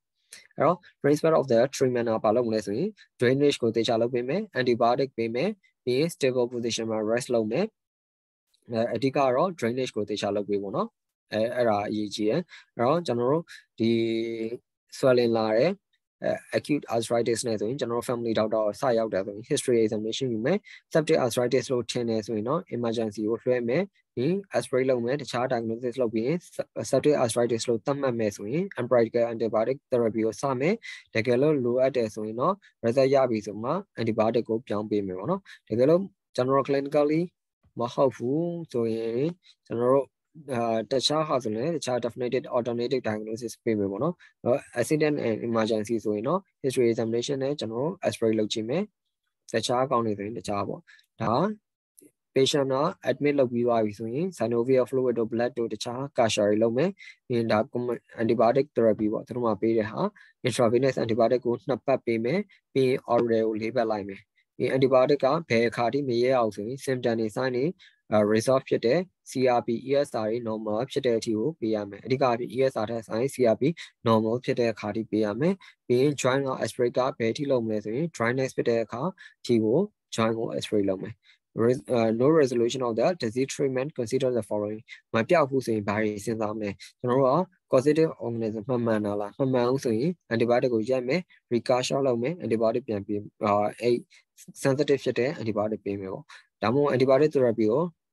treatment ကို modification လုပ်မလားအဲသူတို့မှာတော့ microbiologist ရှိတဲ့အတွက် microbiologist ကို advice ယူမယ် antibiotic therapy ဘာတွေ review လုပ်မလဲပေါ့ပြီးရင် for sign of the တခြား infection ရဲ့ alternative ရှိနေလား system uh systemic systemic substitution တွေလားအဲ့ဒီကောင်တွေ treat လုပ်မှာဒီ joint ကပြောင်းမယ်ပေါ့နော် further imaging တွေ osteomyelitis တွေရှိနေလားရှိတယ်ဆိုရင်တော့ surgical intervention ဝင်ပေါ့ဒါကသူတို့ရဲ့ treatment guideline ပေါ့ အဲ့တော့ antibiotic ကဘာပေးမလဲ gram positive ဆိုရင်ဘာ cocaine ဆိုရင် vancomycin gram negative ဆို ceftriaxone ပေါ့နော်ဒါကသူ့ရဲ့သက်ဆိုင်ရာဘာတွေပေါ့ဒါကတော့ antibiotic therapy ဒါကသူတို့မှာဘာတွေပေးလဲဆိုတာပေါ့နော်ဒါတော့ဖတ်ကြည့်လို့ရတယ်အဲ့တော့ကျွန်တော်တို့ဘယ်လောက်ပေးမလဲပေါ့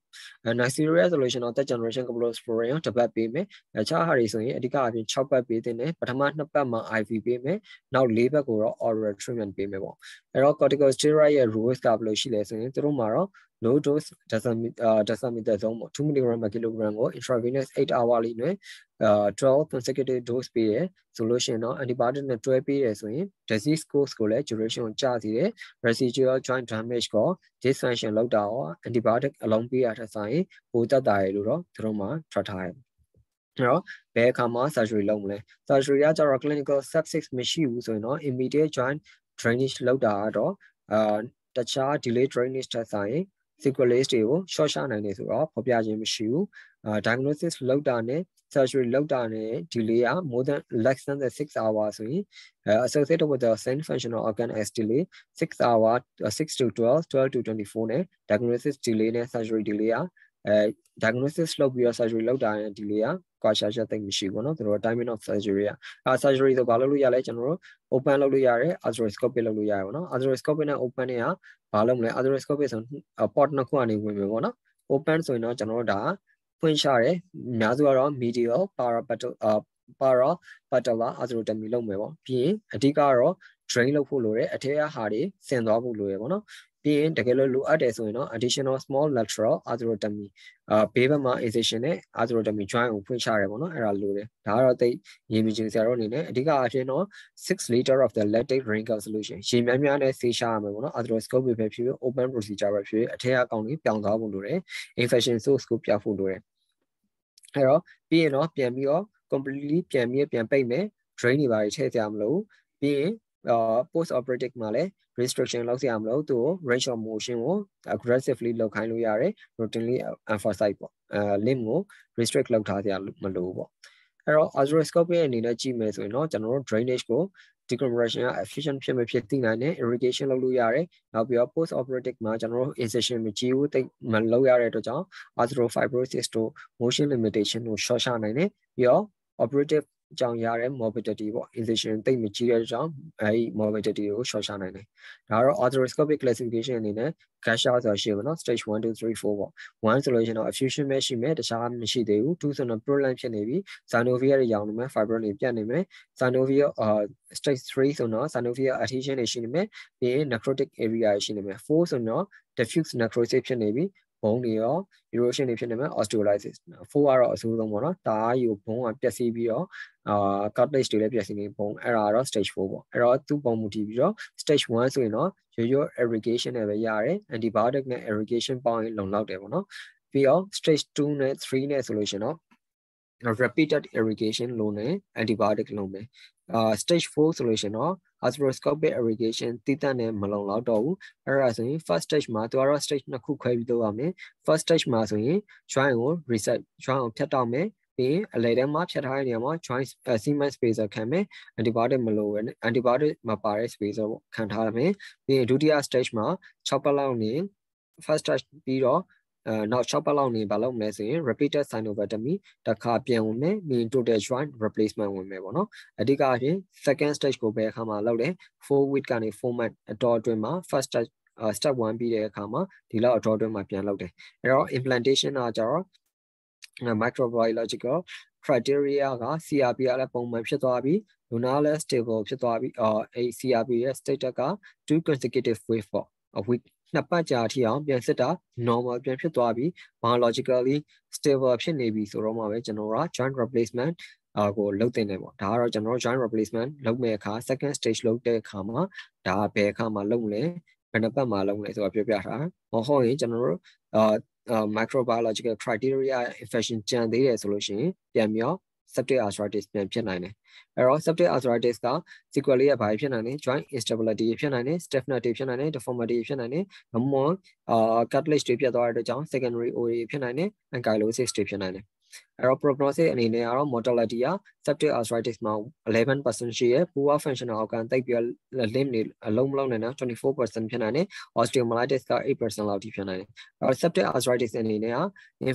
infectious ဖြစ်တဲ့ etiology တွေကြောင့်ဒုတိယဖြစ်တဲ့ဟာပုံမှန်အဖြစ်တော့ knee တို့ hip တို့ shoulder တို့မှာတက်ရောက်တာများတယ် diagnosis ကတော့ aspiration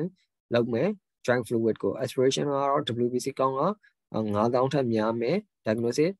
for the septic arthritis လို့သတ်မှတ်မယ်ပေါ့နော်ဒါပေမဲ့9000ထက်9000မရှိပေမဲ့လည်း infection ရှိနေတယ် grand stain မှာ infection တွေ့နေတယ်ဆိုရင်လည်း septic arthritis လို့သတ်မှတ်နိုင်တယ်ပြီးတော့အဓိက treatment ကတော့ surgical irrigation urgent လုပ်တင်တယ်ပေါ့နော်အာအဓိက urgent ဆိုတာကျွန်တော်တို့ articular cartilage တွေ destruction မရခင်မှာ diagnosis လုပ်ပြီးတော့ urgent အာ irrigation လုပ်တင်တယ်ပြီး debridement လုပ်တင်တယ်ပြီး Kasher directed IV antibiotic ပေးတင်တယ်ဒါကတော့သူရဲ့ definitive treatment ပေါ့နော်အဲ့ဒါတော့ကျွန်တော်တို့ summary အနေနဲ့ဟုတ်ကျေးဇူးပါ Hello ကဲပါဆရာကြားရပါတယ်ဆရာဟုတ်ကျွန်တော်ပြောမဲ့ဟယ်လိုကျွန်တော်ပြောမဲ့ဟာတော့ဒါအကုန်ပဲများတော့များသွားတယ်ကျွန်တော်ခေါင်းစဉ်နေနဲ့ဟွာရလဲဆိုတော့လေဟယ်လိုဟုတ်ကဲ့ပါဆရာဟုတ် ဟိုဆရာတို့ဆရာမအများရှိတယ်ဟုတ်မေးမေးဆရာရှိလို့ရှိရင် chat box ကနေမေးလို့ရပါတယ် unmute လုပ်ပြီးတော့လည်းမေးလို့ရပါတယ်ခင်ဗျာဟုတ်ကျွန်တော်ကျွန်တော်အဲဟုတ်တကူပေါ်လာလားဟော survey form ဟောလေကျွန်တော်တခုပြောဖို့လိုတာအဲဆိုတော့ open fresher မှာကျွန်တော်တို့ kasha အာ1လုံး kasha လောက်တာမပြောသွားဘူးပေါ့နော်မပြောသွားဘူးဆိုတာကျွန်တော်တို့ antibiotic ပေးဖို့ပါညာ1 kasha လောက်တာသူတို့ကျွန်တော်တို့အနေနဲ့ open fresher မှာတိတ်ပြီးတော့အသုံးမဝင်ဘူးပေါ့နော်ကျွန်တော် kasha လောက်တဲ့အခါမှာ development လောက်တဲ့ emergency မှာယူရင်လည်း emergency ကပိုးတွေဖြစ်နိုင်တယ်အပေါ်ကကျွန်တော် skin ဘက်ကပါလာတဲ့ဟာ external ကဟော organism တွေဖြစ်နိုင်တယ် development လောက်တဲ့အခါမှာလည်း organism တွေကသူ nosocomial ပေါ့အဲ infection တွေဖြစ်နိုင်တဲ့အတွက်ကြောင့်တိတ်ပြီးတော့ specific မဖြစ်တဲ့အတွက်ကြောင့်သူတို့ကတော့ little value ပဲဖြစ်တဲ့အတွက်ကြောင့် kasha microorganism kasha and sensitivity ကိုတိတ်ပြီးမလောက်ကြဘူးပေါ့နော်ဒီတိုင်းပဲ antibiotic ပေးကြရများတယ်ဟုတ် တခြားမေးစရာများရှိသေးလားခင်ဗျာ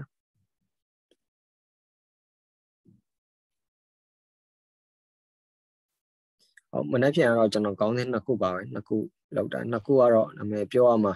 ဟောဖြစ်လို့ဆရာဆရာမတို့နဲ့နည်းနည်း language မဲ့ဟာလေးနဲ့နည်းနည်းပြောဖို့ဟာလေးပါလို့ကျွန်တော်အဲနှစ်ခုတော့မနေ့ပြန်လောက်ထားတယ်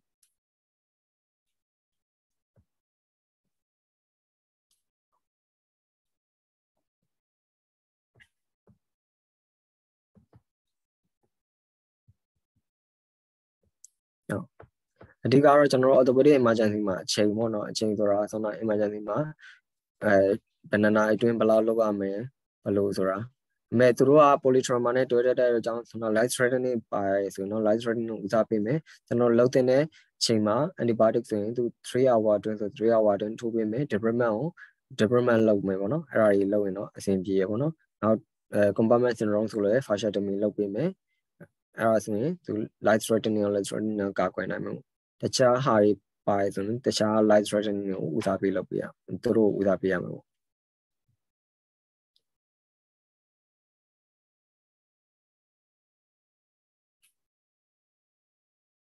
ကဲပါဆရာဟိုလေမိကုန်းလေးတွေရောဟိုတက်လာတာထပ်မရှိတော့ဆိုတော့လေအဲဆိုရင်ဒီနေ့ဟို auto basic knowledge for orthopedic emergency day 1အနေနဲ့ဟို ခေါင်းစဉ်သုံးခုကိုပေါ့နော်ဆရာ basic science ကောနောက်ပြီး clinical practice မှာအသုံးဝင်မဲ့ဟာတွေပါပြောသွားပြီးရတဲ့အတွက်ကျေးဇူးအများကြီးတင်ပါတယ်ဟုတ်မနေ့ပြန် day 2မှာဆရာတို့ဆရာမတို့နဲ့ပြန်ပြီးတွေ့ပါမယ်ခင်ဗျဟုတ်